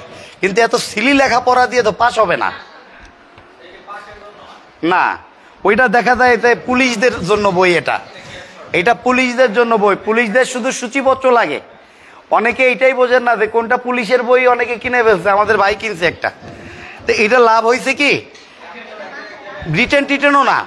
ওগুলো দিয়ে টাইটেলটা দেখা এক। তাও না। পুলিশের আলাদা বই। ওদের ধাসি আলাদা। আমাদের সাথে মিলবে না। এই কারণে ওই বইগুলো পড়তে নিষেধ করি। আবার এই লাইনে অনেকে আছে, পুলিশের বই কাইটা? আমার বই কাইটা একটা নতুন আধুনিক বই বানাইছে। দেখা গেছে পুলিশের লেখাপড়া তো আপনারা পড়েন না। ওইখানে দেখা যায়, আরে স্যারের তো বিশাল জানে, কিন্তু সে দুইটা বই কাইটে একটা বই বানায়, বিক্রি করতেছে। যাই হোক, এগুলো এমনি এমনি, দোষ। তাহলে দেখেন, একটা হাস্যকর প্রশ্ন করি, আপনারা তো সবাই ছোট এখানে। তাহলে প্রশ্নটা হচ্ছে, দণ্ডবিধির লিঙ্গ আছে কত ধারায়? আট ধারাতে। তাহলে দণ্ডবিধির লিঙ্গ আছে আট ধারাতে। দণ্ডবিধির দণ্ড আছে তিপ্পান্ন ধারাতে। এইটা সরকারি প্রশ্ন কিন্তু, দণ্ডবিধির দণ্ড আছে কত ধারায়? এখন আপনি যদি একটু ওই রাজার মতো একটু দুষ্ট হন, তাইলেই পরীক্ষার হলে শেষ। এই সকল প্রশ্নে। যে দণ্ডবিধির লিঙ্গ আছে কত ধারাতে? আট ধারাতে। আর দণ্ডবিধির দণ্ড আছে তিপ্পান্ন ধারাতে। পাঁচ প্রকারের দণ্ড আছে। এখন লিঙ্গ বলতে নারী, পুরুষ, উভয়কেই বোঝাবে। তাহলে এরকম লেখি হি বা সি হ্যাঁ হি- বা তিনি বা সে। হি বা তিনি বা সে। হি বা তিনি বা সে সর্বনামটি। তিনি বা সে সর্বনামটি।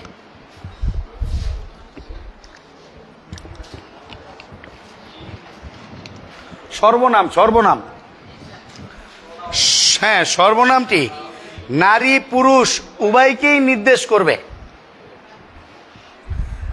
নারী, পুরুষ, উভয়কেই নির্দেশ করবে। হি বা সে বা তিনি, সর্বনামটি নারী, পুরুষ, উভয়কেই নির্দেশ করবে। অর্থাৎ দণ্ডবিধি নারী, পুরুষ, উভয়ের ক্ষেত্রে সমানভাবে প্রযোজ্য। দণ্ডবিধি নারী, পুরুষ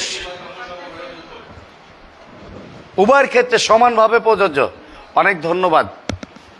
মামুন ভাই, অনেক ধন্যবাদ। ওয়ালাইকুম আসসালাম। লাভলি, ভালো আছেন নিশ্চয়ই? লাইভটি শেয়ার করে দিবেন। এস এম, সাজিদুল করিম ভাই, অনেক ধন্যবাদ। চমৎকার। ঐশী, অনেক ধন্যবাদ। লাইভটি শেয়ার করে দেবেন। না না না না না। এটা আছে আমার এক বন্ধু। সে বাংলাদেশের প্রথম বিসিএস ক্যাডার থার্ড জেন্ডার থেকে হয়েছে পররাষ্ট্র মন্ত্রণালয়ে আছে সে। অলিত, আমার খুব কাছের বন্ধু। বেডমেট দেখেন, ওই, ওরাও নারী হিসাবে বিবেচিত হয়। দেখেন তাহলে হি সর্বনামটি নারী পুরুষ উভয় হিসাবে বিবেচিত হবে কত ধারায়? আট ধারাতে। তাহলে এখানে দণ্ডবিধিতে সি বলে কোনো শব্দ থাকবে না। দণ্ডবিধিতে সবই হি, আর সবাই স্ত্রী পুরুষ উভয়ই। বুঝাইতে পারছি? তাহলে জেল শুধুমাত্র পুরুষ মানুষের জন্য, কথাটা ভুল? উভয়ের জন্য না? দেখেন, এইগুলা এই কারণে বোঝানো হয়েছে যে জেল কিন্তু নারী পুরুষ উভয়ের জন্য। একজন নারীও যেভাবে হত্যা মামলার আসামি হইতে পারে, একজন পুরুষও সেইভাবে হইতে পারে, তাই না? যাই হোক, এগুলা আপনারা না বুঝলে সমস্যা নাই। তাহলে নয়ে আছে বচন। নয়ে আছে কি? বাবা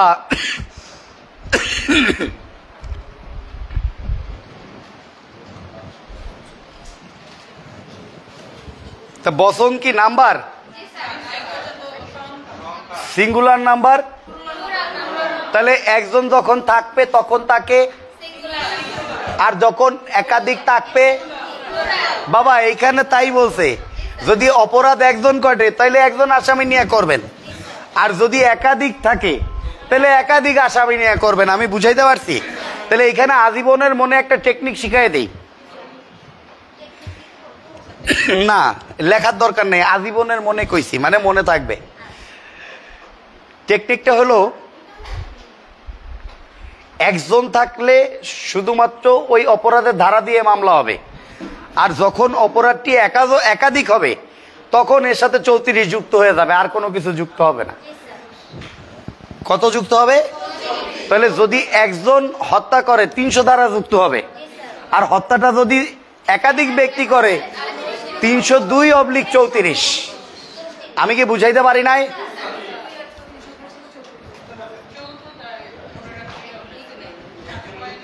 এটা আসলে লেখার জিনিস না কিন্তু, আমি কিন্তু খেপবো এখন। এখন কিন্তু খেপা যাব। আশ্চর্য হয়ে যাচ্ছে আমি। একজন হইলে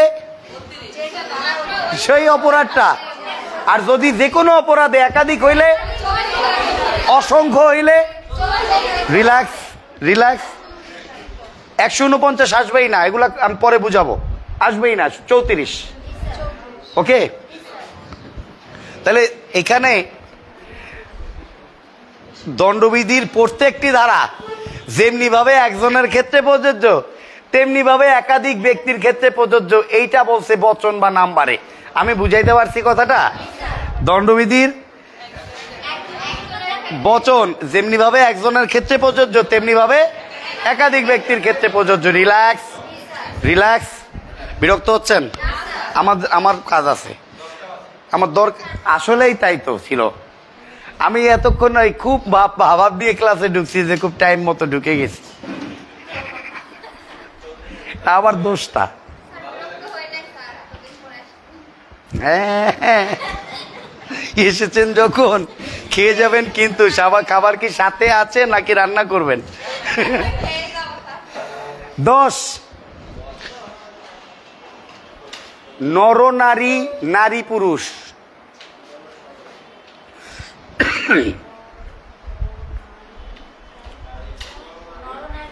নর, নারী। নারী পুরুষ। পুরুষ মহিলা। হ্যাঁ।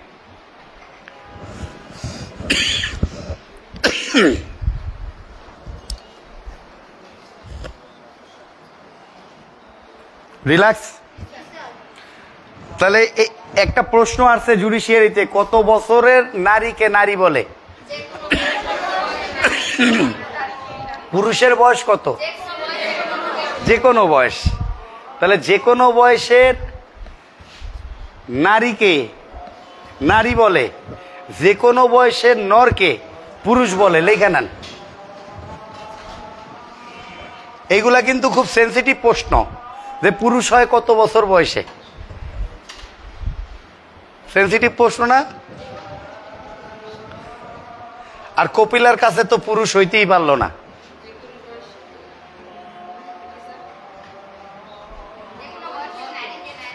হ্যাঁ যে কোনো বয়সের নারীকে, নারী, এবং যে কোনো বয়সের নরকে পুরুষ বলে। তাহলে কত বছর বয়সে নারী? আঠারো? কত বছর বয়সে পুরুষ? আঠারো? তাহলে শিশুর বয়স কত? শিশুর বয়স আঠারো। কিশোরের বয়স? পনেরো। তরুণের বয়স পনেরো। সমনের ক্ষেত্রে সাবালকের বয়স ষোলো।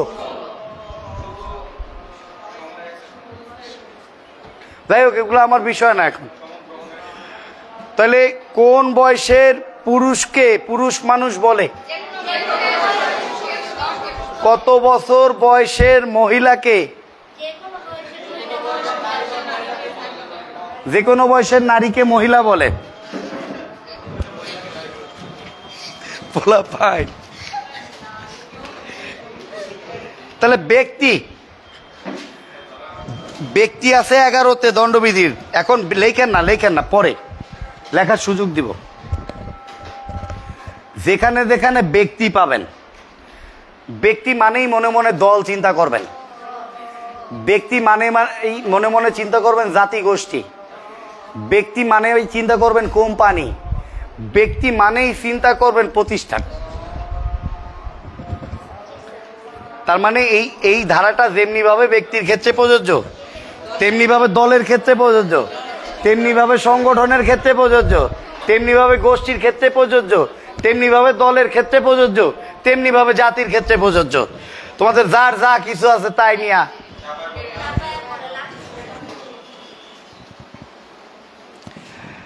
তাহলে সমষ্টিবদ্ধ বা একক বা দলগত বা দলকে ব্যক্তি বলে বলা যায় না? তাহলে ব্যক্তি হলো সমিতি বা প্রতিষ্ঠান। হ্যাঁ ব্যক্তি হলো সমিতি বা প্রতিষ্ঠান, আর বড় করার দরকার নাই। সমি হ্যাঁ কোম্পানি তো অবশ্যই। ব্যক্তি হলো সমিতি বা প্রতিষ্ঠান। বারো, জনসাধারণ। তাহলে আটে কি পড়লাম? আট। লিঙ্গ। নয়ে কি পড়েছি? জেন্ডার। দশে পার্সন। ব্যক্তি। এগারোতে ব্যক্তি, দশে কি? নরনারী। নরনারী দশ।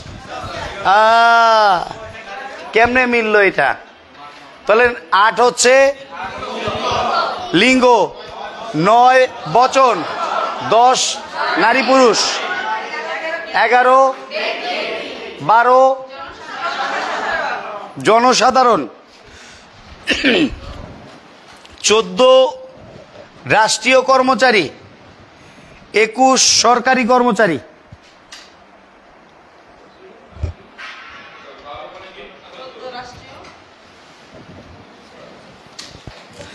চোদ্দ রাষ্ট্রীয় কর্মচারী। আর একুশ সরকারি কর্মচারী।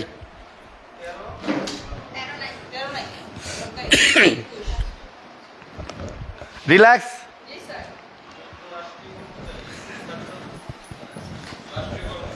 রিল্যাক্স তাহলে বাংলাদেশে যারা সরকারি চাকুরিতে কর্মরত, তাদেরকে রাষ্ট্রীয় কর্মচারী বলে। আবার লেখেন না লেখেন না, এগুলো সব জায়গায় লেখা আছে।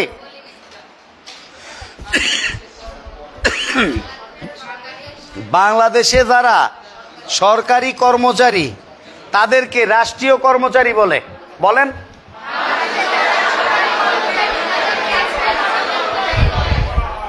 অর্থাৎ সরকারি কর্মকর্তা, কর্মচারী চাকুরিতে যখন অব্যাহত থাকেন অব্যাহত থাকেন, তখন তাকে রাষ্ট্রীয় কর্মচারী বলে। রিল্যাক্স। আর সরকারি বেতনভুক্ত যে কোনো ব্যক্তি সরকারি কর্মচারীর অন্তর্ভুক্ত। বুঝি নাই? সরকারি যে বেতন খায়, বাংলাদেশ সরকারের তাহলে বাংলাদেশের সরকারি কর্মচারীকে রাষ্ট্রীয় কর্মচারী বলে এক কথা শেষ।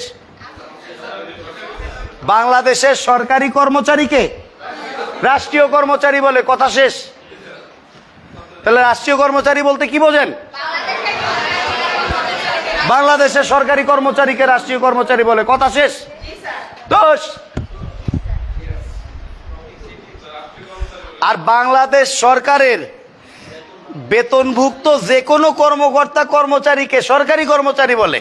তাহলে বেতনভুক্ত হবে সরকারি কর্মচারী আর বাংলাদেশের সরকারি কর্মচারী হবে রাষ্ট্রীয় কর্মচারী। কথা শেষ। তাহলে একজন পিয়ন কি? বেতন খায় না?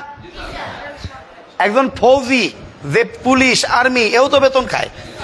তাহলে একজন পিয়ন থেকে একজন ফৌজি পর্যন্ত সরকারি কর্মকর্তারির অন্তর্ভুক্ত হবে। পিয়ন থেকে কিন্তু অফিসের সরকারি কাজকর্ম শুরু হয়। তাহলে একজন পিয়ন থেকে একজন ফৌজি পর্যন্ত সরকারি কর্মচারীর অন্তর্ভুক্ত? রিল্যাক্স দণ্ডবিধিতে একুশ। ধারাতে সরকারি কর্মচারীর কথা বলা আছে। তাহলে একুশ উল্টাইলে কি হয়? বারো। ঠিক একুশ ধারাতে বারো ধরনের সরকারি কর্মচারীর কথা বলা আছে, এটা মাথায় রাখতে হবে। একুশ ধারাতে কয় ধরনের সরকারি কর্মচারীর কথা বলা আছে? বারো ধরনের সরকারি কর্মচারীর কথা বলা আছে। আর রাষ্ট্রীয় কর্মচারী কত ধারায় আছে? চোদ্দ। সরকারি কর্মচারী কত ধারায় আছে? বাংলাদেশের সরকারি কর্মচারীকে কি বলে? থ্যাংক ইউ রাষ্ট্রীয় কর্মচারী বলে। এইটাই এমসিকিউ আকারে তুইলা দিলে কিন্তু কল্যাণাই হয়ে যাবে। হ্যাঁ বলবে মানুষের কল্যাণে কাজ করে।